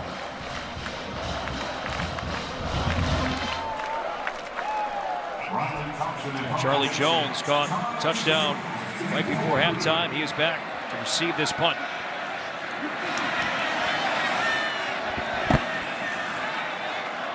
Riley Thompson, impressive first half. Both punters performed well in the first half. And here's Jones now, looking for some space. Great cut. Charlie Jones, here we go. He's got friends in front, and Jones out of bounds across the 45-yard line. There are two flags on the field near the Purdue 34 and 35 yard lines. So we'll see if this is coming back.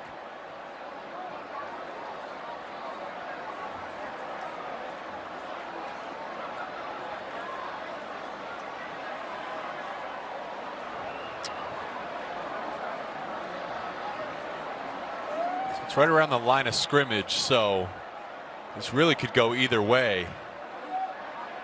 Is it a holding by the punt team in protection? Is it a holding by the receiving team as FAU's trying to release? Oh, wow. These are both on Purdue. Including a personal foul. And so. that, and that crushed what you just said. That is what crushed Purdue's hopes of winning last week at Syracuse personal fouls on sportsmanlike conduct penalties, and that reaction from Jeff Brohm saw that often late in the fourth quarter in Syracuse last week. This is taking a long time here, and the fans here on this homecoming night growing restless. Jeff Brohm, he says, What do we got? Reading his lips. Well, last week, Penn State, last season, when they've lost games, they've nearly doubled their output in penalties and their penalty yards. And it's no mistake that that leads to less a lesser percentage of winning. And again, you know, penalties are something within your control. It's it's disciplined football. And at some point, I don't even know if this can come from the coaching staff. This has to come from within the locker room. Some veteran guy has to step up and say, guys, enough is enough. We cannot continue to get penalized at this rate. There are two fouls on the play personal foul, continuing to participate without a helmet, kicking team, that penalty is declined, holding during the return, return team, that 10-yard penalty is enforced at the end of the run. It'll be first down.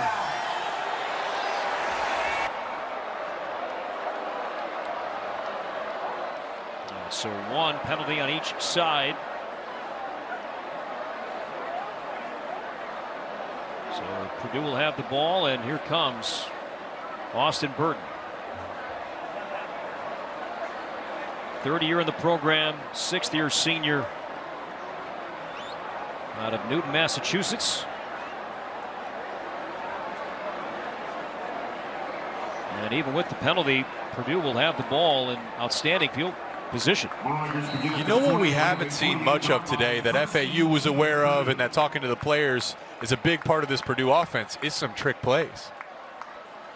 Payne Durham said they, they work about 30 on any given week, and all those plays are up regardless of wh whether O'Connell is going to be able to play. Let's see if they get to some of these here in the second half. Tracy in motion.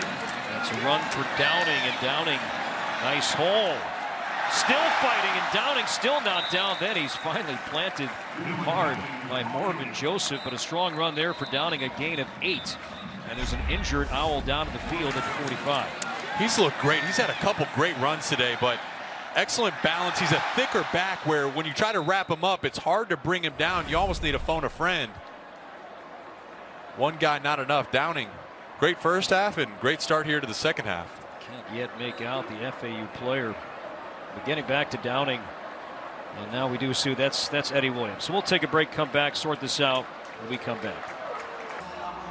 Now, some key guys are out tonight for Purdue. We've mentioned O'Connell, but he has company on offense. King Doerue out again tonight, as is wideout Broc Thompson.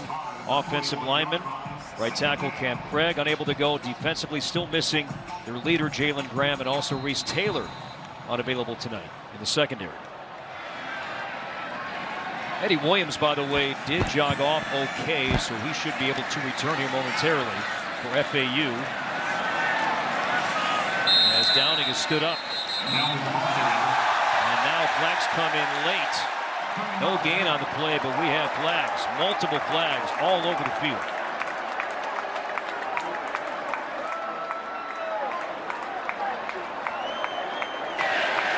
After the play was over, unsportsmanlike conduct, defense number 31, 15-yard penalty, automatic first down. It's uh, Dwight Toombs on a key pick last week against UCF. That's number 31's first on unsportsmanlike of the game. Throwing down, Downing. After the whistle's blew. And for once, Purdue is on the right side of a penalty, huh? It's been a while since they've had that.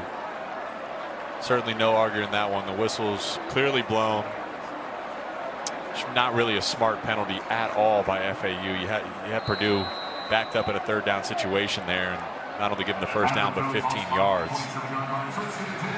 So Devin Mockobee now in a tailback on first down from inside the FAU 30 yard line.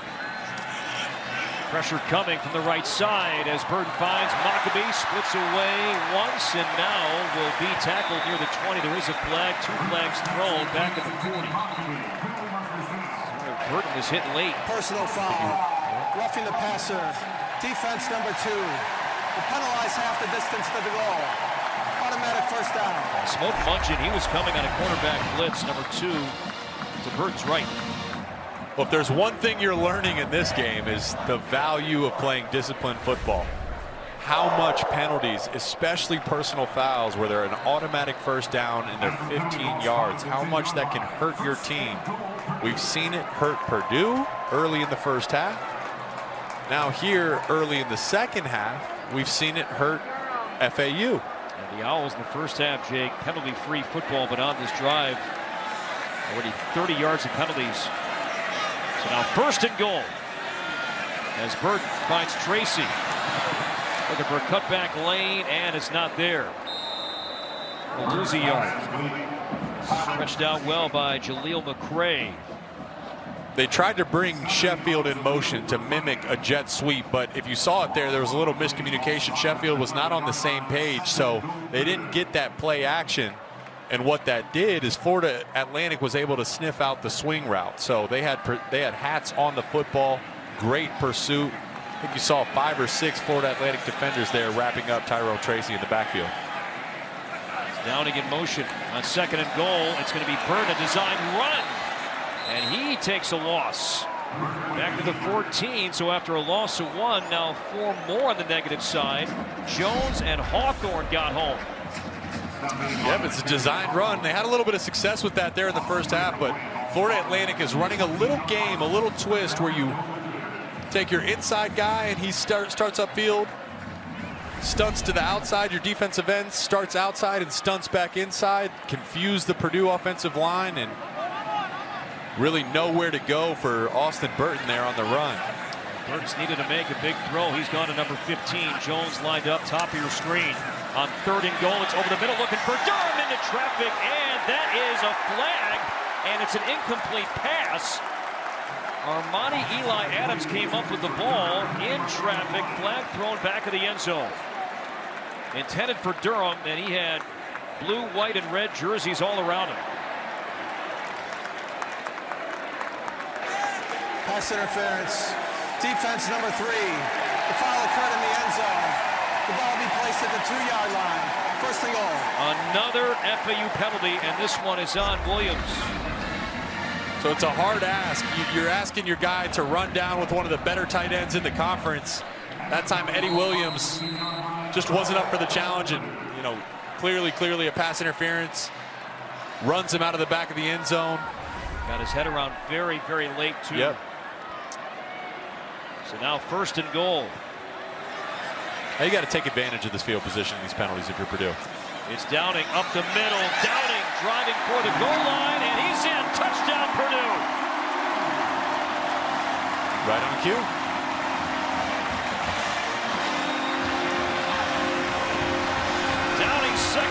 Second rushing score this year.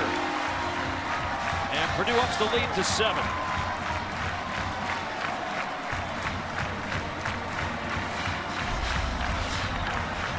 If you're Florida Atlantic, you got to be kicking yourself. A couple times you have a chance to get off the field in third down situations, and a couple times you bail out Purdue with critical penalties. You can. A cat has nine lives, right? And Purdue that time took advantage of it and ended that drive with the touchdown. A lot of it assisted by penalties by the Florida Atlantic defense. Bitterman's extra point is good. Another flag, by the way. My goodness. Personal foul, roughing the kicker. Defense number two. That 15-yard penalty will be enforced on the ensuing kickoff. Willie Taggart's team, they're coming unglued here early on in this third quarter. A one-possession game, but Dylan Downing down 17 pounds from the bowl game. He said, no more red meat and no more Panda Express. Too much orange chicken, too much fried rice. Looking slim, looking good. Purdue by eight. Football on the Big Ten Network is brought to you by Auto Owners Insurance Simple Human Sense and by Discover, the official credit card of the Big Ten Conference. Homecoming weekend, Purdue Pete has changed over the years.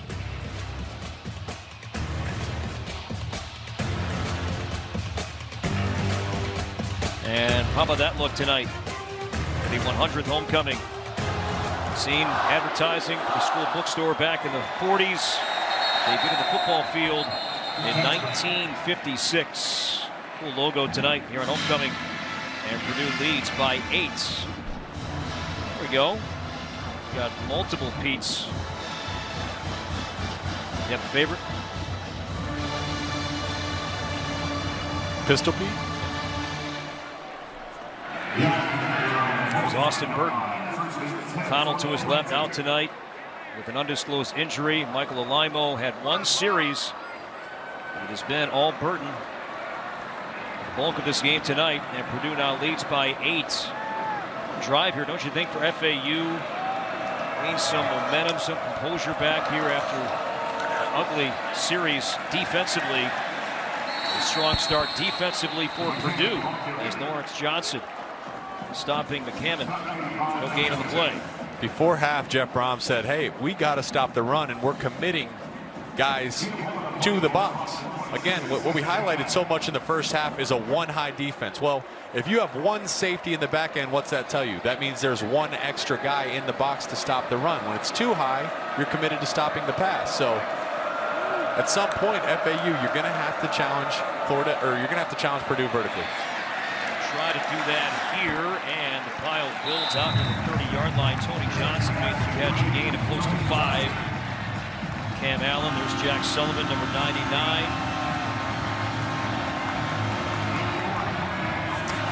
If you have a too high safety look, that means you have two extra guys in the back end. That's less guys in the box. Usually that says we're going to try to run the ball. When it's a one high safety look, one of those extra safeties in the box to stop the run. So you would say we got to try to pass the ball. FAU two out of nine on third down. This one too high, incomplete. Poorly thrown to Johnny Ford. Same throw he missed on that two-minute drive before half. This time to the left side of the field. He missed it on the right side going into half. That one came out with some zip. Ideally, you, you throw a more catchable ball for your backfield, for, for your running backs. Johnny Ford couldn't come down with it. Willie Taggart, former quarterback during his playing days, talking to the veteran. Perry, another three and out. Charlie Jones, great return last time. Low punt on a bounce. And Jones bottled up across the 30-yard line. So Purdue up by eight. Offense back on the field. We'll take a timeout.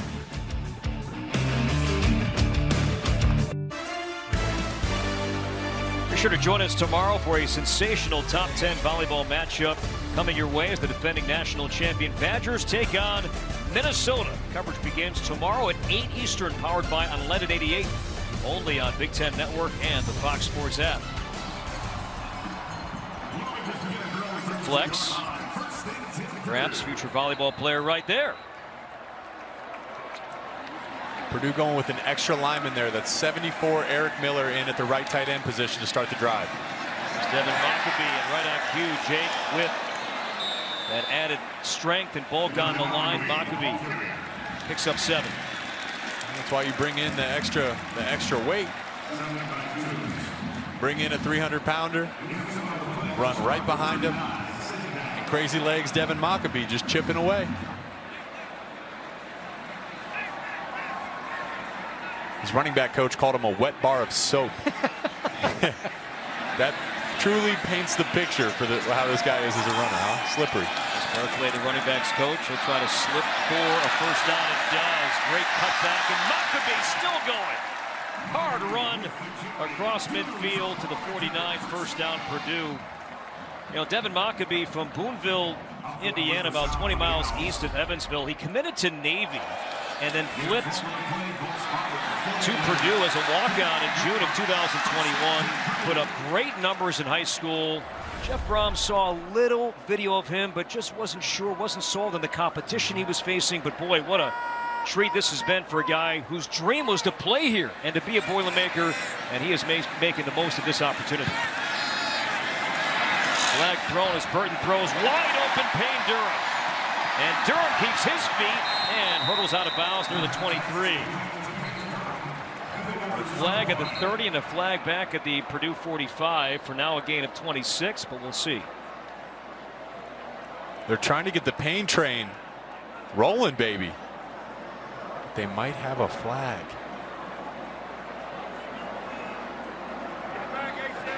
There are two fouls on the play.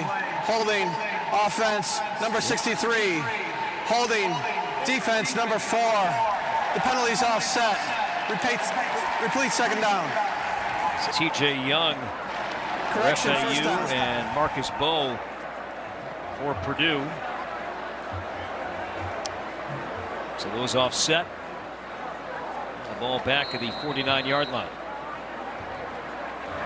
Didn't count, but it was a beautiful concept. You come out on this drive, emphasizing the run. You get a couple great runs with Mockobee, and then you go to the play action. You go to your big fella, the Payne train, number 87, Payne Durham. But it didn't count. Carry for Kobe Lewis tonight. And Lewis picks it up about four, tackled by Petway. Kobe Lewis, redshirt junior, transfer from Central Michigan. Did not play last year due to an injury. Meghan, what do you have? Well, just down here a moment ago, Payne Durham went up to Austin Burton and said, hey, I've got an advantage. Get me the ball. And that's exactly what you saw there on this drive. Burton's looking for the Payne train, as Jake Butt has just named Payne Durham. Thank you, Meghan. 13 catches for Burton, for uh, Durham rather, entering play tonight. That was tops among all Big Ten tight ends. And there's another nice run, first down run for Kobe Lewis. Lewis 5'11", 220, redshirt junior picked up eight more.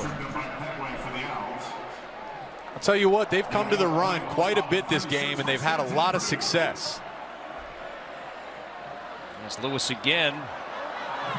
Cutting it outside, now makes a good move inside the 35, and picks up about six.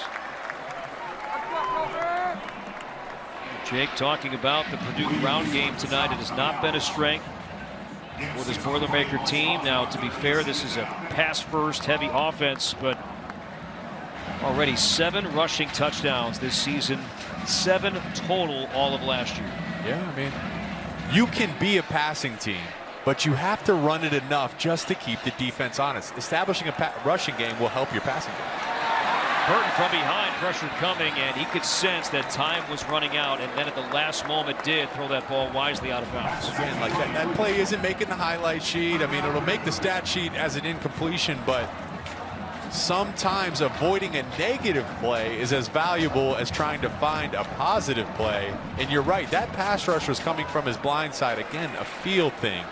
That's a great job by Burton because now you're in third and four. You take the sack and you're in third and 10. O'Connell out tonight due to an undisclosed injury. Watching on here. On third down and four. Burton time and that's intercepted. Picked off by Toombs. His second straight pick on back-to-back Saturdays. And on third down, Burton picked off by Toombs. And the Owls make a play on defense. I'll tell you what, Austin Burton, man, he just stared down that slant. And number 31, Dwight Toom. Toombs, he read his eyes like a children book. Look at this. Look at him trigger on that. Great hands, great catch. But it was a telegraph throw by number 12, Austin Burton. Here it is. Here's a better look at it. He's just staring it down. You know all day he wants to come to that slant. And Dwight Toombs, once again, read him like a book. Like, let's watch his eyes. Look at 12's eyes. Where's he throwing? He's going there the whole time. He wants to get it to the slant. And as a safety, you've got to read the quarterback's eyes. And then you got to make the play. And that's a great play, a huge play by Dwight Toombs. Back-to-back games, the pick for Dwight Toombs. With about 6.05 to go in the third quarter, a gain of about two for Larry McCammon. And now it's about this FAU offense, Jake. Third drive here Yeah. of the second half and two three and out so far. I'm up here just flowing. It's back and forth, and someone's got to take command here of this game. And Perry looking deep, has a man wide open. That's caught by Burton. Jaquan Burton beautifully thrown by Perry, and there's the big play that FAU had not had this entire half. I'm going to say it till I'm blue in the face. Purdue is sitting in cover one man. If you're Florida Atlantic, you have to attack vertically. Vertically, that is a great scheme because you've come to these underneath little screens throughout the second half just to dump down to your receiver. That time, N'Kosi Perry, he pump fakes to the screen, takes advantage of the one high man, and delivers a dime down the sideline. 43 yards in stride. Perry to Burton. On first down, Perry throws up and incomplete. Jahmal Edrine haven't called his name much tonight. And Corey Trice to get in there to knock that ball free. So let's go back to it here. Right, you've come to the screen all day. You see the pump fake, and then look at the separation. It's going to come on your screen here. Look at that. That's five, six yards of separation. That is a scheme thing, but again, why is there no help? Well, because Purdue is sitting in cover one man. There is not a cover two safety that can get over there and affect that play. Purdue is committing more guys into the box to stop the run, and that time it bit him in the butt. Longest play from scrimmage, but now it's an option toss, and good hit there from OC Brothers, lowered that shoulder on McCammon. Third and long. The Auburn transfer, right? Certain hits you can feel. Look at he's running full speed and whoa, delivers a nice lick. Yeah, go celebrate with his teammates. And that's a big play because you put FAU after their own big play. You put them back against the wall in third and 10. You got them back on their heels. And they're sitting in cover. You see the two safeties here by Purdue. So you do see the adjustment. They're committing more guys to the back end. Over the middle into the end zone, touchdown! LaJohntay Wester for the second time tonight, right between those two safeties. And FAU is a two-point conversion away from tying this game up, and it looks like they're going to kick it and settle for the extra point try. I'll tell you, I get it. I understand you want to run the ball. But the weakness of this Purdue defense has been the pass defense. That time they're in split safety. Okay, so you have more in the back end, but there's a hole in the middle of the defense. When you go split safety, the weak point is in between those two guys. That's just a post and an accurate throw by N'Kosi Perry. I'll tell you what, we got a ball game on our hands here. Point after try is good for Suarez to make this a one-point game. Perry had a couple of bad drives, but not there. accurate strike. How about it going back to your guy, LaJohntay Wester? Here it is. Look at the space there in the middle of defense. Delivers it with some zip. Give it to number one, LaJohntay. Next Saturday, it is a can't miss triple header. Illinois takes on Wisconsin. CJ Stroud then leads number three Ohio State against Rutgers, and Indiana will take on Nebraska. It's all next Saturday on Big Ten Network and the Fox Sports app. Jonte Wester, two touchdown receptions tonight, and he is all fired up as FAU is looking for the upset on the road. Owls have not defeated a Big Ten team since 2007. They've lost seven straight Big Ten matchups. So Charlie Jones returning punts, not kicks. This is Deion Burks, his third return. And Burks is brought down near the 30. It's about a 20-yard return, and he needs some help up to his feet. And here comes Austin Burton coming off the pick. We'll see how he responds, making his first start. Had such a good, clean first half. You know, we were talking about it coming out, but you know that drive ended with a really bad, a telegraphed interception. He stared his guy down. So hey, you know, we don't know about you until you are faced with some adversity. Let's see how you respond. Certainly, the body of work says Burton's been playing a quality game. Here's a run. Downing. Pick up close to four, maybe five. So we thought FAU was the running team. They're averaging 3.7 yards per carry rate right now. Purdue, on the other hand, the not running team is averaging six yards a carry. On the flip side, the passing team, Purdue, only eight yards per completion, whereas the running team, FAU, averaging 13 yards per completion. The tables have turned. Second down and five. It's Downing again. Big hole. Downing makes a cut. First down near midfield. FAU can't stop the run right now, so Jeff Brohm, they're keeping the ball on the ground as Downing picks up 11 more. If it ain't broke, don't fix it. Downing has had so much success tonight. He's done it on the edge, that time down the middle of the defense. He's not only breaking off four or five yard runs, he's breaking off these big chunk 15, 20 yard carries. He's looked great. Mockobee has come in there. Kobe Lewis has done good. I know you want to pass the ball, but right now this rushing game has got a lot of momentum. And they stick with it. And Downing brought down from behind by Jacob Merrifield. Redshirt freshman from Georgia. And Downing, he'll come out, get a breather, a solid series. The beautiful thing too, though, is, is especially with a new quarterback. You know, Aidan O'Connell's out. You establish a run game and then play action pass. I was just going to ask you. Rate. I was yeah. just going to ask you. At what point does this open up a play action pass opportunity? Well, they had one to Payne Durham that got called back. Remember, and they've, they've had some success. This one's off the play action pass, double move to Charlie Jones. Looking deep, looking for Jones, and this one knocked away. Justin McKiffin step for step with Charlie Jones. Great coverage, not a bad throw from Burton, but really good coverage from number 11. You said it. Great coverage from number 11, Justin McKiffin. You see the double move. They run the out route a couple times, but he didn't bite. And he's running hip to hip. He gets his eyes around. I mean, that's just textbook. That's great defensive back play. It's a hard position, man. You're out there on an island. You're playing arguably one of the better receivers in the entire country right now. Running a double move with no help. It's Todd Orlando, defensive coordinator first year, former Wisconsin Badger.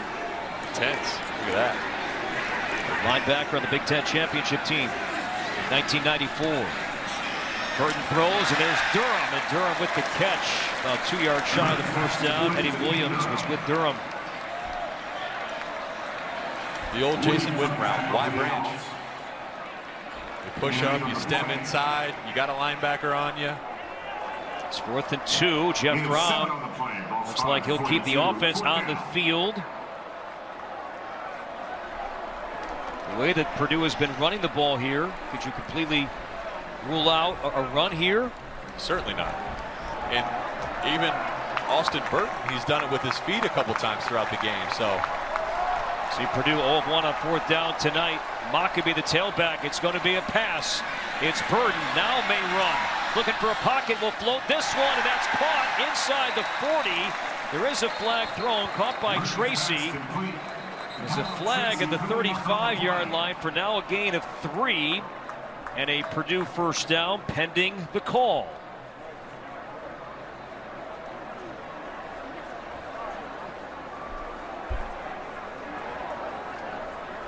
Prior to the pass, holding defense number four, 10-yard penalty, automatic first down.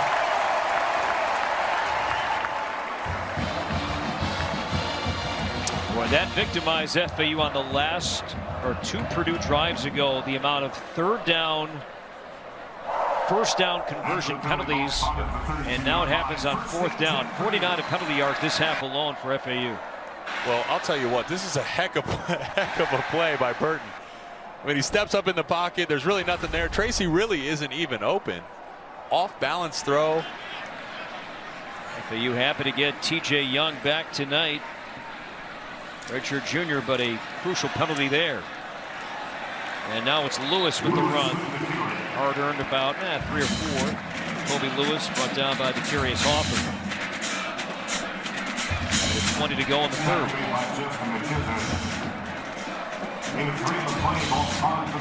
Purdue led by one at halftime.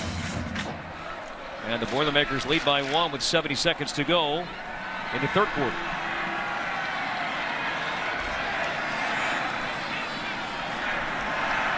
Penalties have absolutely killed Florida Atlantic's defense here in the second half. Five for 49 this half. Burton in trouble, and he's wrapped up and sacked at the 35-yard line. Latrell Jean with his second sack of the year. That looked like a screenplay here on the top of your screen. Look at it right there to Charlie John. Okay, all right. So you saw 51 Courtney McBride. He kind of sniffed out the screen and he stepped right in the throwing lane of Austin Burton. So he didn't have the comfortable or comfortability, excuse me, to throw the screen to Jones. So that's a great job by number 51 Courtney uh, McBride, the field linebacker. Sack tonight. Two offensive lines on both sides, but don't give up too many. On third down at 13 over the middle, and that's caught inside the 30-yard line by Tracy. Well shy of the line to gain. Clock running, and that'll do it for quarter number three. Here in West Lafayette. So as we move to the fourth quarter, we have ourselves a game. Big Ten Conference USA homecoming night. Purdue by one.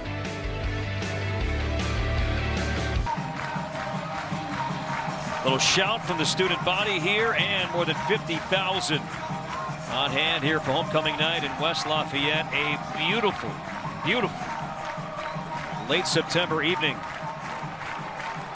here at Ross-Ade Stadium. As we start the fourth, Purdue and Mitchell Fineran will line up for a 47-yard try, his longest this season, 41, career long 50 from last year. His second year with Purdue, began his college career at Samford from 47. That's on the way to the right, trying to hook back, and no. It was tipped by Eddie Williams. And Willie Taggart's team to start the fourth makes a play on special teams. Down one.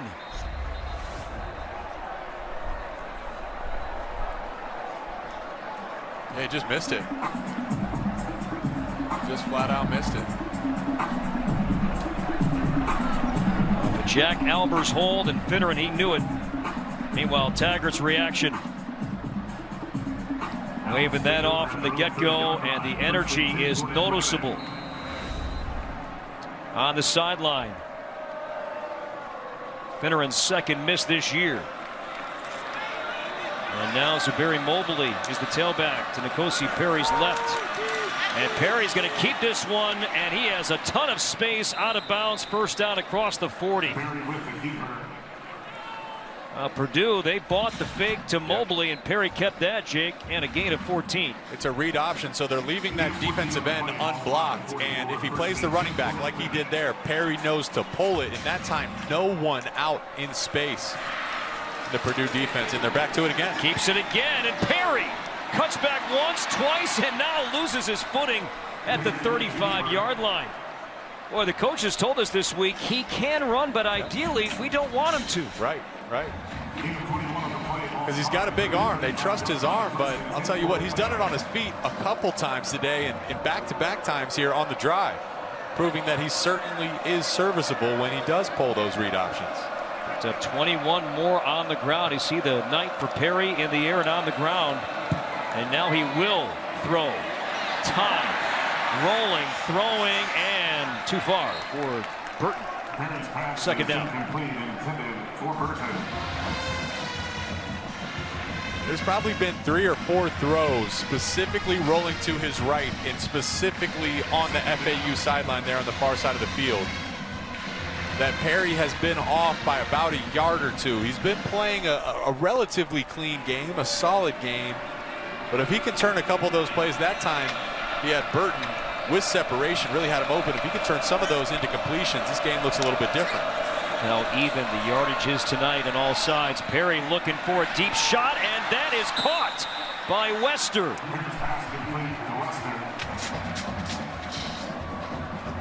LaJohntay Wester having a big game here on the road tonight, 27 more. You saw it there. Purdue was trying to bring the blitz, but this veteran FAU offensive line gave their guy, N'Kosi Perry, just enough time for him to throw out there and deliver a strike. Here's Wester trying to get a block and does. Wester is forced out near the five. Jaquan Burton with a good block, and then Cam Allen with a touchdown saving play defensively. Now the tempo, Jake, here they go. Right. You got to draw a line in the sand at some point if you're Purdue. Ron English said, hey man, fourth quarter defense has been our kryptonite. FAU can't pick up a first down, by the way. This is second down and four. And here's Johnny Ford. He stood up about a yard shy of the line to gain. It'll be third down and about one, tackled by Scotty Humpich. And a lot of pushing and shoving after the play See Ford on the ground, helped up by Edric.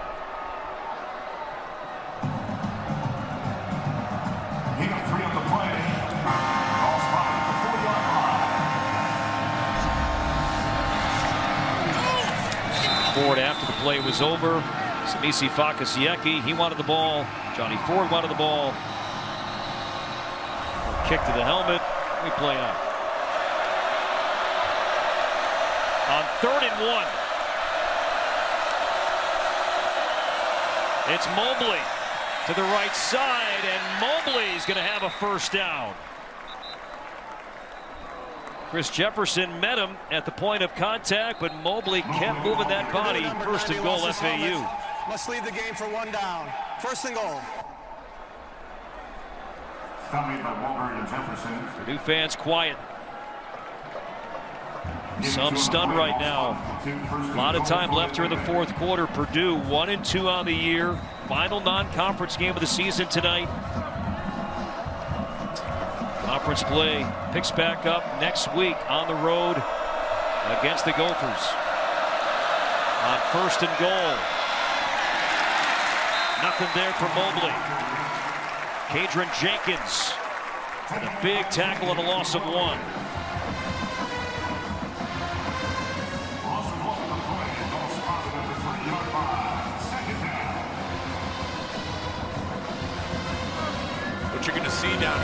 Purdue is overcommitting to stopping the run.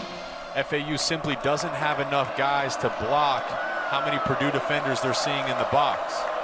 And once again, what that really means is you're going to have one-on-one -on -one matchups out on the edge. Look at that box there by the Purdue defense, and look at your matchups up top with the FAU receivers. On second and goal, Perry rolling, stutters, now floats to the end zone, going up, catching that with a foot down. Yes, touchdown, Jaquan Burton. There's a flag back at the goal line on the near side of the field.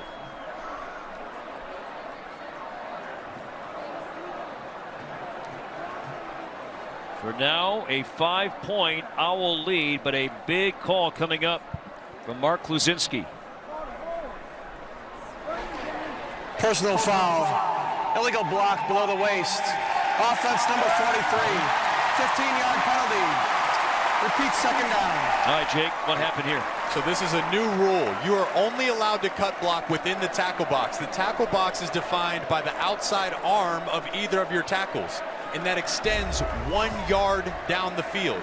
So you're going to see the cut block coming. There's the tackle box. It's defined. And then the cut block right there by your right tackle. It's way too far outside of that box and way too long after the snap. Watch the right, I think that's actually the right tight end there at the very number 69 right there, and he dives and cuts. You cannot cut block outside of the tackle box that time. That's clear as day. That's a new rule that was put in this offseason to try to protect the players. And look at this. It pushes the ball all the way back to the 18-yard line and denies the Owls the lead for now. Perry trying to get some of that back, and that's incomplete. Knocked away by Jamari Brown. Intended for Jahmal Edrine. Third and goal. Great play by Brown. They're running a post route, the same route they scored on just a couple drives ago. That time, clean defense, right? No pen, no holding, no defensive pass interfering. He pass interference. He waits for the ball to get there. That's what you need. I mean, listen, we've seen it here on third downs. Both teams have bailed each other out with penalties. Florida Atlantic, your percentage of converting this is so low. The only thing that could really kill you is a penalty if you're the Purdue defense. So, no holding, no DPI. On third and goal, Perry hit into traffic, deflected and intercepted.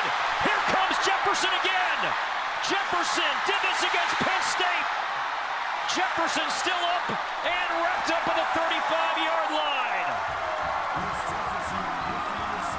The 16th career pick for the fifth-year senior Chris Jefferson, second this year.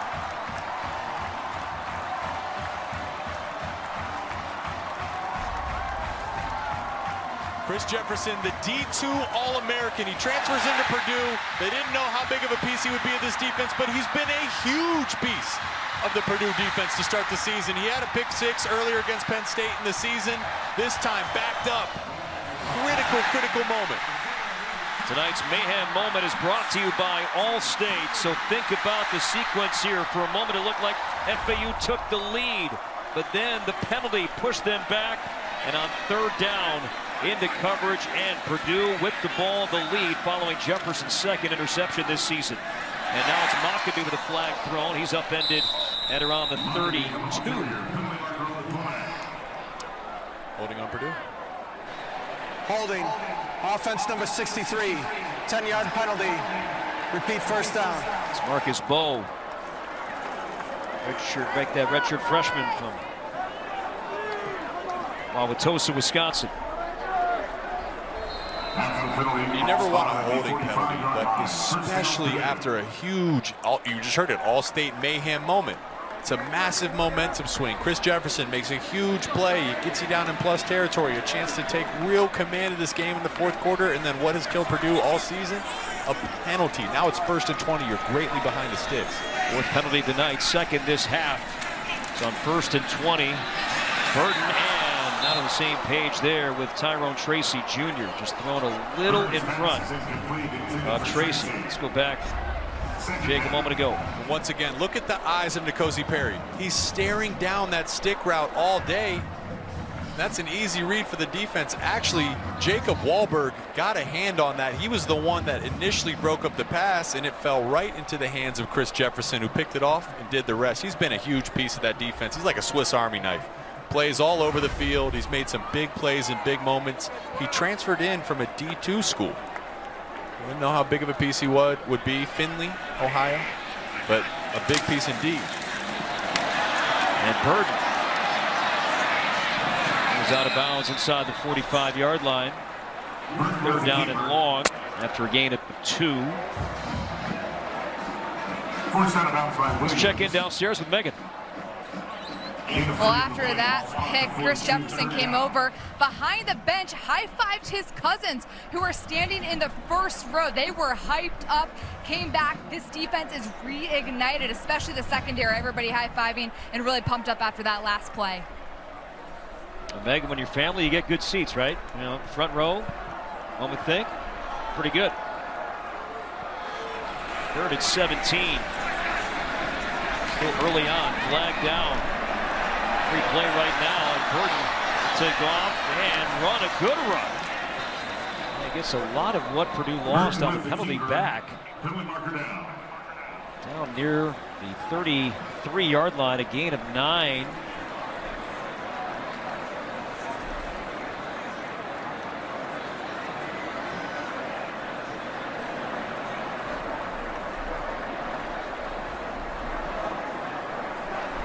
Illegal formation. Offense number 73 was lined up off the line of scrimmage. The penalty is declined. Fourth down. It's Daniel Johnson, starting right tackle tonight, playing tonight because Cam Craig is out. So another Purdue penalty. And declined, so it's fourth down and long. After the missed field goal last drive, though, don't have much trust in your kicker, especially from this distance. It would be about a 50 yarder. So Jeff Brohm says, hey, we're going to keep the offense out here, see if we can convert on fourth and seven. Fourth and seven. After declining the penalty. And now Burton with the pocket over the middle, and that's caught. And it's Charlie Jones, first down inside the 20.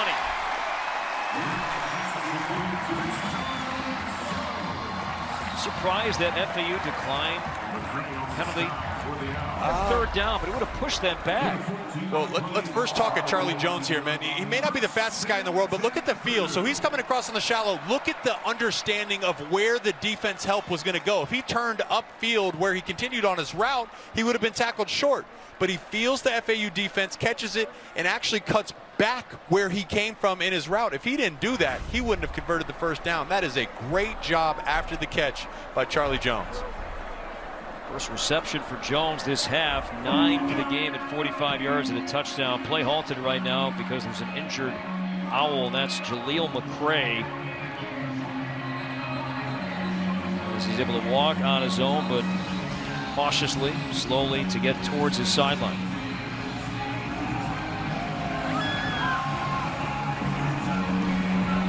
Well, that student section looks a whole lot differently now, right? Than it looked earlier, about five, ten minutes ago. Five, ten seconds ago. Fourth and seven. Right. Yeah. Austin Burton. His first start as a Boilermaker, sixth year. Senior, his third year in the program.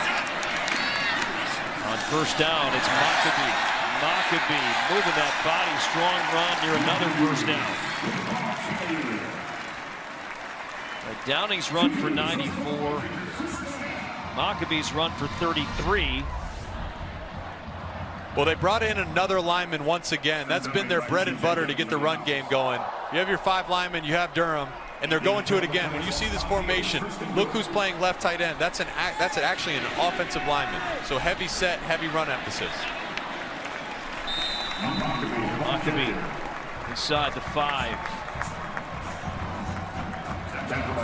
Mockobee, six feet, 195 pounds. Downing, six feet, 210. Will be Lewis, 5'11", 220 again. No King Doerue out again tonight with a bad calf. So they're staying with it, though. They got number 64, Musa. He's playing your tight end, and then you have Payne Durham playing a wing set. So again, you have your typical five down linemen but you're bringing in some extra beef, a 300 pounder to go with Payne Durham. Towards the back of the end zone.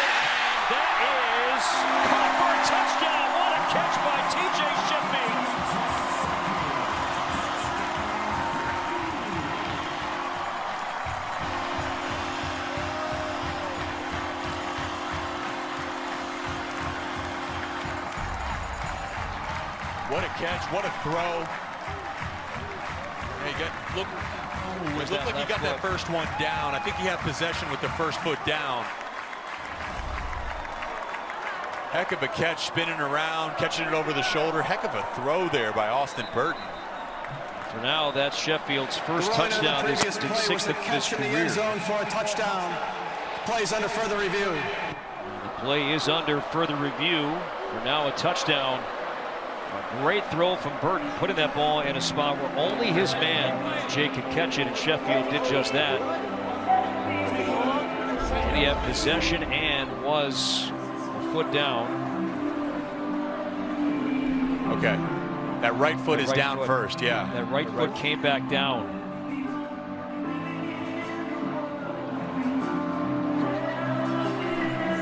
Look at that beautiful spiral.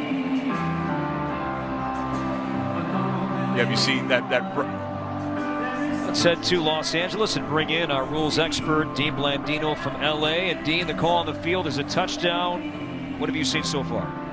Yeah, replay just wanted to take an extra look. Receiver's going to gain control, and that right foot is going to tap inbounds. Then he's going to go to the ground, maintain control.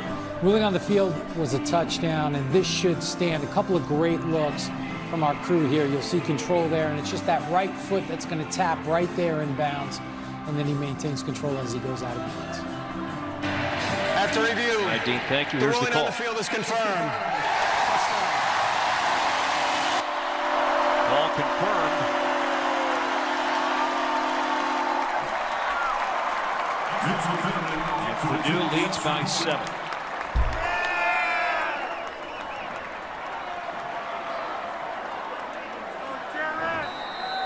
Three touchdown passes for Austin Burton tonight, two to Jones and now to Sheffield.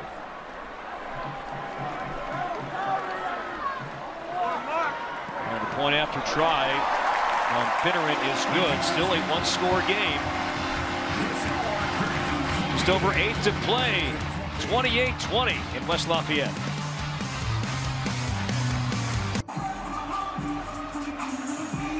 For the biggest Purdue experience, there's no plus like home. The Big Ten Plus app, powered by Big Ten Network, your favorite Boilermakers content streaming and on demand, plus the iconic games and exclusive events only on the Big Ten Plus app. Download and subscribe now.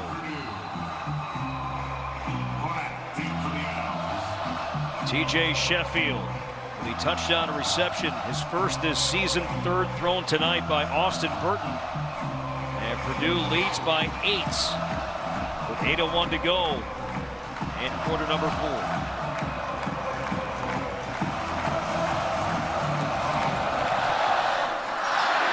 And Ekrin with the kick. And a fair catch for Jay Sean Platt. The Owls will start from the 25 yard line. Let's take a look at our upcoming schedule brought to you by Wendy's for Purdue. It's spicy. Purdue and Minnesota coming up a week from tonight. Speaking of the Big Ten Plus app, Purdue fans learn about Minnesota. If you missed the game today, what they have done this season, you can see all the Gopher games. And no Chris Autman-Bell, he's out, but no problem. Tanner Morgan, that offense looks really good. Yeah, it's certainly not going to get any easier for here from here for Purdue. So, you know, if nothing else, got to get some guys healthy. Would love to have Jalen Graham back. Obviously, Aidan O'Connell, Reese Taylor, Broc Thompson. Get some of your starters back in this lineup, and it should raise the floor. That ball came out. And Perry jumped on top of it. Second down. Ends up being a two-yard gain.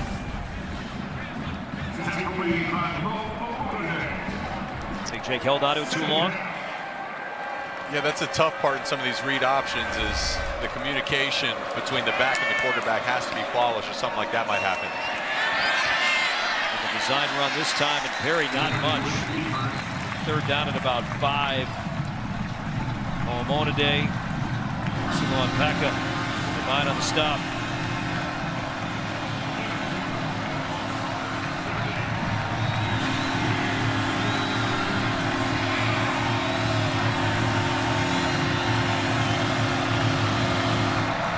FAU 4 to 13 tonight on third down.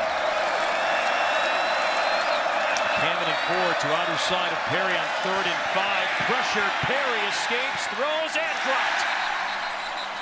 And then McCammon took a hit late, and here come multiple flags. Purdue had it stopped. It was a drop, but now FAU will get a fresh set of downs. Personal foul, late hit, defense number 20, 15-yard penalty, automatic first down. We'll see brothers coming out, and he'll be talked to, no doubt. Oh my goodness. I mean, Deja vu, right? Deja vu for Purdue and what they endured last week. No kidding. I mean, seriously, it is such a true statement to say more games are lost than one. And in this second half, penalties have killed both of these teams. seems like both teams are trying to give the game away with penalties, not just penalties, but penalties in critical situations. Jamari Brown, number seven, lined up defensively top of your screen, took off his helmet, but he's still on the field here. Over the middle, that's caught open. And that's Edrine keeping his feet. Jahmal Edrine still not down. And now he is inside the 20-yard line. Kieren Douglas made the stop, but Jahmal Edrine, big body, 6'3", 210, a redshirt uh, freshman rather from Fort Lauderdale. He's just running a post route there. Finds the pocket again. You're playing one high safety, so the pocket there is on the hash, right in between where your corner is and your safety is. That's an easy read for N'Kosi Perry and an easy throw for N'Kosi Perry. And at 39, now the swing pass to Mobley versus Field, and now Mobley dives down near the 12. Gain of about five.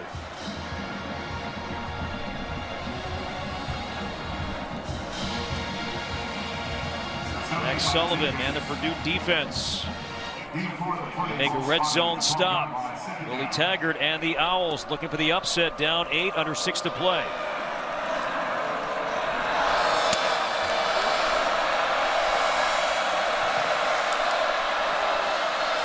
On second down, Perry keeps it, gets a block from Mobley, and he'll pick up a first down. It's tackled near the five.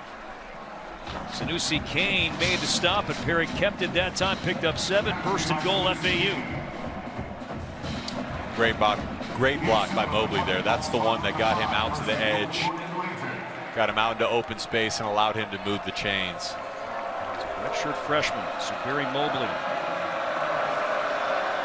made the block. Cammon back in at tailback. On first and goal, he's trying to set up the screen. That's caught, and that's a touchdown. Third time tonight, it's LaJohntay Wester.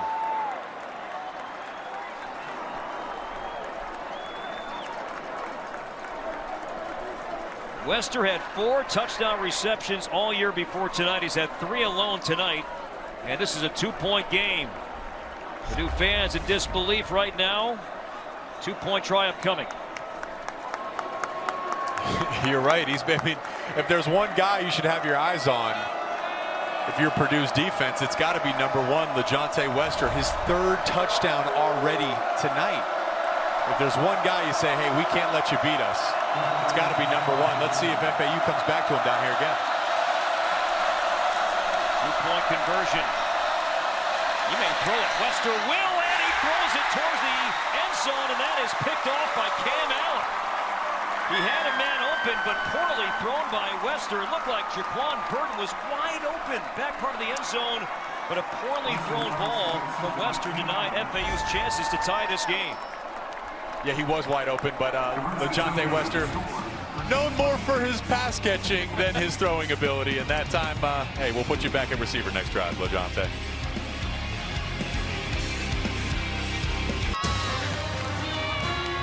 Football on the Big Ten Network is brought to you by State Farm. Like a good neighbor, State Farm is there. Homecoming, the 100th homecoming here at Purdue. 28-26, Boilermakers have the lead. Purdue will get the ball back and 5.21 to play in the fourth quarter.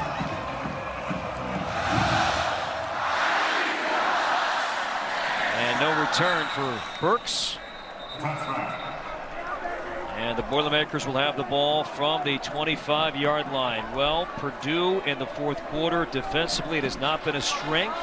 Jake for this team so far this year and being tested again tonight. To say the least, and that doesn't even include the penalties that they've given up in the back end.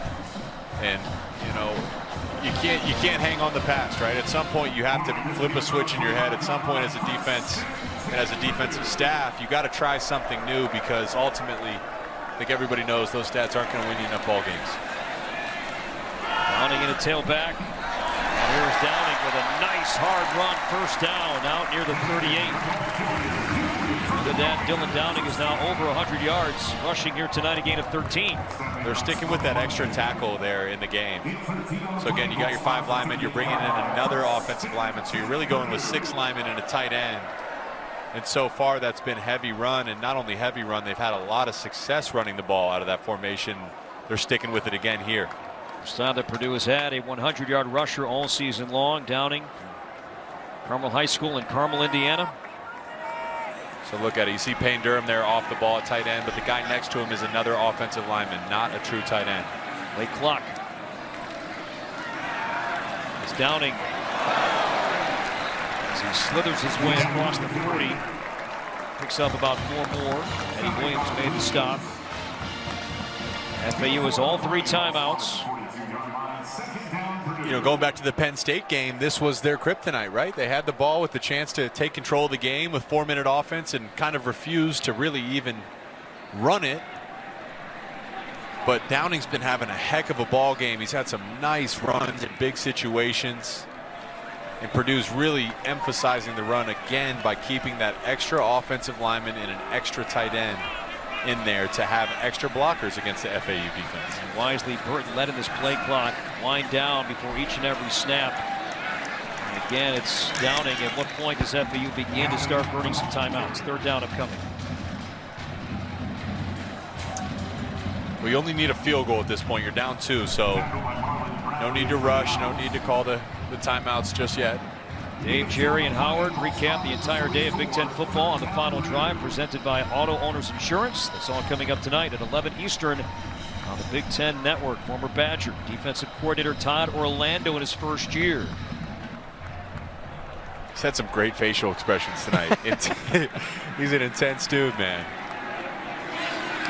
An intense moment. I feel him. There it is. It's a big, big moment for his defense. Timeout. Purdue. This is the first of the half. And Purdue will take its first timeout. We'll take a 30-second break, third and three when we come back. Coming up after the game, the Big Ten Live football postgame presented by State Farm breaks down all the action. Boy, a lot to break down tonight. 28-26 Purdue, third and four, 3-10 to play. Purdue with the football from its own 44-yard line. Look at that FAU defense. Charlie Jones, one of the best receivers in the country, is one-on-one -on -one with no safety help over top. Burton rolls and throws. It's Durham, and Durham stretches, and he'll be short by about two yards. A first down saving tackle made by Armani Eli Adams. It's fourth and short. That is a huge tackle by Armani Eli Adams. I mean, that's a big fellow. That's Payne Durham. He's 6'5", 255. Armani Adams, he's 5'11", 193. So a little mismatch in terms of the weight and the size, but look at him flying across the field. Great form tackle, wraps him up. Call it Python tackle, squeeze the blood out of the legs. It just stops him just short. So, okay, here's your game. Florida Atlantic's going to get the ball back with about two minutes left to go. Can they drive down the field? Can they score? This is where Purdue's defense has really struggled. Play clock getting late here. Well, they just got it off in time. It's Ansell. Big kick, and this one will bounce at the five and bounce towards the goal line, and it's a touchback. So we have a break. Two-point game. FAU ball down two. Do not go anywhere. Fourth quarter.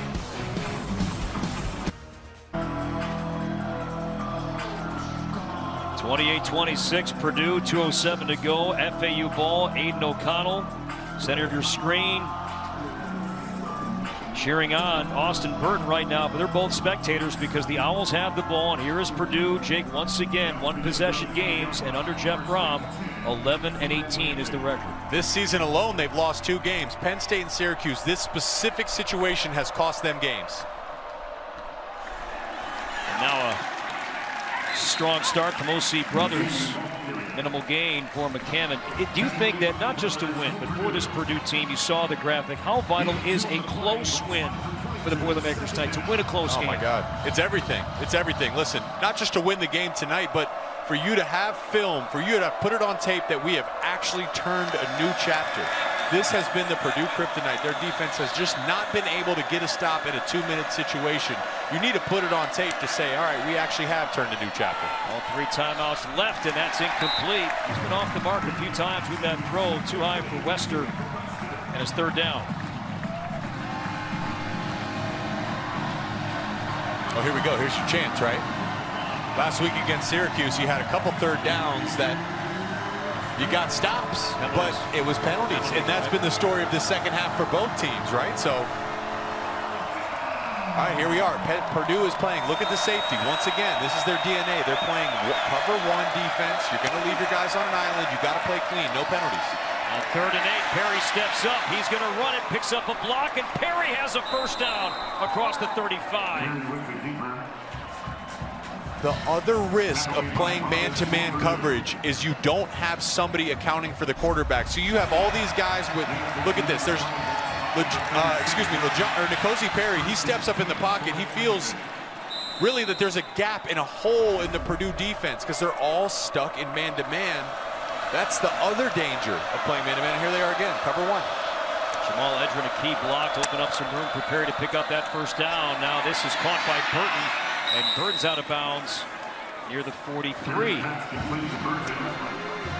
I just feel at some point, if you're Ron English, if you're the defensive coordinator here at Purdue, you got to kind of got to break a tendency. I know you want to be aggressive. I know you want to play cover one. You trust your guys. That's okay. But, you know, it's just it's a confidence booster for these defensive backs. If you can sit in cover two and you can let them play zone at some point with their eyes in the backfield, that might be to their advantage.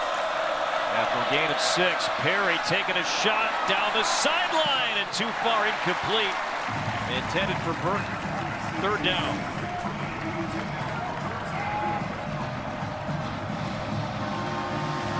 You okay with that call there for Willie Taggart? Absolutely. Deep try there on second down.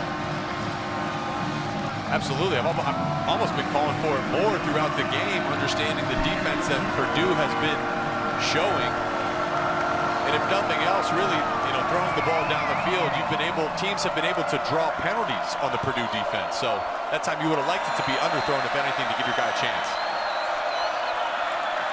On third and four, Purdue brings four, and that's a stretch and a catch, but short of the first down to Tony Johnson. Led him too much. He catches that. That's an easy first down. So it's a fourth down and one for FAU with 56 seconds to go. Not using a timeout, but now I think they will. So on fourth and one, and FAU will take its time first timeout. Florida Atlantic.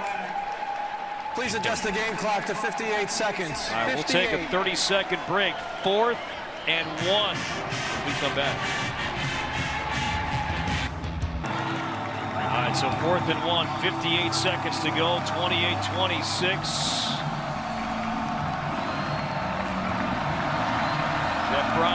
One sideline. Willie Taggart the other.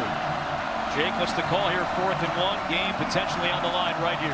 Well, it looks like FAU's going with a couple extra tight ends, a couple extra linemen. So you're thinking run, but Purdue's matching their personnel. Look at that box. Look at look at what you see. Perry. Perry trying. And now the ball came out. It's a live ball. It's recovered by Sanoussi Kane. Kane came away with it and he's wrestled down near the 20. On fourth and one, Perry trying to sneak it. The pile was building.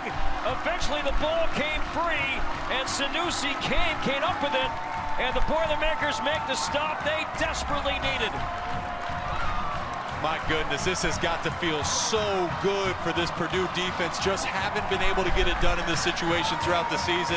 This time, fourth and one, it's an identity. FAU needs a, needs one yard. They're going to run the quarterback sneak, a play that they lost on earlier in the game. But this time, Purdue, look at that violent, violent push by their interior defensive lineman. Not only that, you forced the fumble, and then after this play, what was so great to see Saw Payne Durham down there. I saw a couple Purdue guys, offensive players. They're all hugging it out. They can exhale a little bit, man. They've lost so many of these one-possession games. It's so frustrating. you can exhale a little bit if you're a Purdue fan. Finally getting a win. Wasn't pretty, but a win indeed. Purdue forcing two fourth quarter turnovers. Jefferson an interception and Kane picks up the fumble and now Burton will take a knee. FAU has two timeouts left. Timeout, Florida Atlantic. We'll keep it here as the Owls burn their second. 30 second timeout. So Perry stretching here at the end, Jake. Stood up there, but watch him extend the arms, and that's when it looked like it came free. What's I don't think he actually needed to extend. I think he had the first down. At that point, huh? Yeah, I think he had the first down. But football is not a game about what ifs, right? It's a game of what actually happened. And that time, a great job by Purdue punching the ball out. That's just my favorite part, man. Just football is so hard to win. You can do everything right and still lose. You can do everything wrong and still win. But to see those guys celebrate and hug it out, that was awesome. You could feel the weight lifted off their shoulders on the sideline. I know their chest was probably a little tight. Finally winning a close one. Burton again takes a knee. Timeout. Florida Atlantic. Their third and final charge timeout. 30 second timeout. Again, coming up after the game, the Big Ten Live Football postgame presented by State Farm breaks down all the action.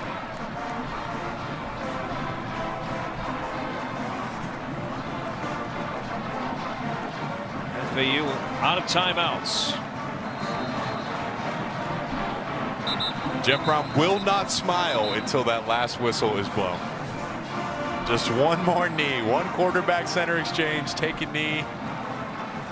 Aidan O'Connell out tonight. Will he be back?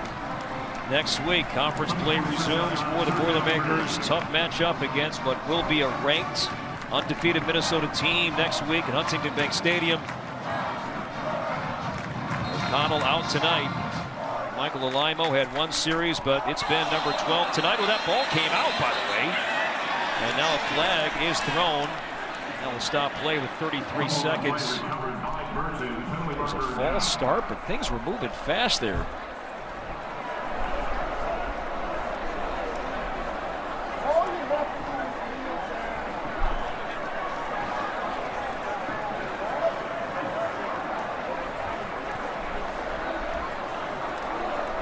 Purdue has been penalized tonight five times for 55 yards. FAU six for 64 for the Owls, is all no six this half. Play. The ball was recovered by the offense. The clock will start on my signal.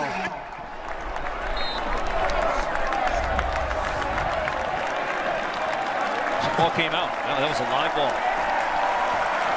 I was kind of sarcastically saying it, right? I, I could not imagine on the last snap. But hey, listen. See, I, I mean, you, you can't even smile after that, right? I mean, that's. It's a win. It's a win in a close It is a game, win. and Purdue will improve to two and two. And Willie Taggart's team put up a great effort tonight.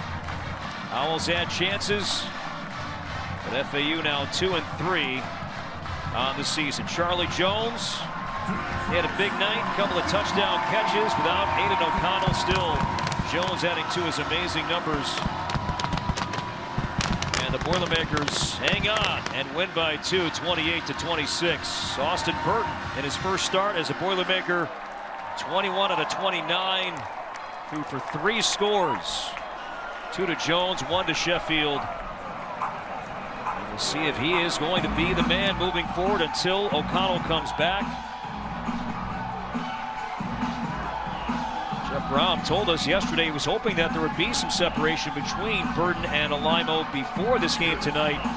Maybe there is some now with the way that Austin Burton played. I certainly think so. I mean, he put up the stats. He had the one interception that was a little bit telegraphed, but aside from that, he played a clean game. He was accurate. He had a great command of the offense. Got a lot of help from the run game today, too. So overall, a good performance by the offense. Jeff Brohm now 30 wins at Purdue, seventh coach to do that. He's standing by with Meghan McKeown.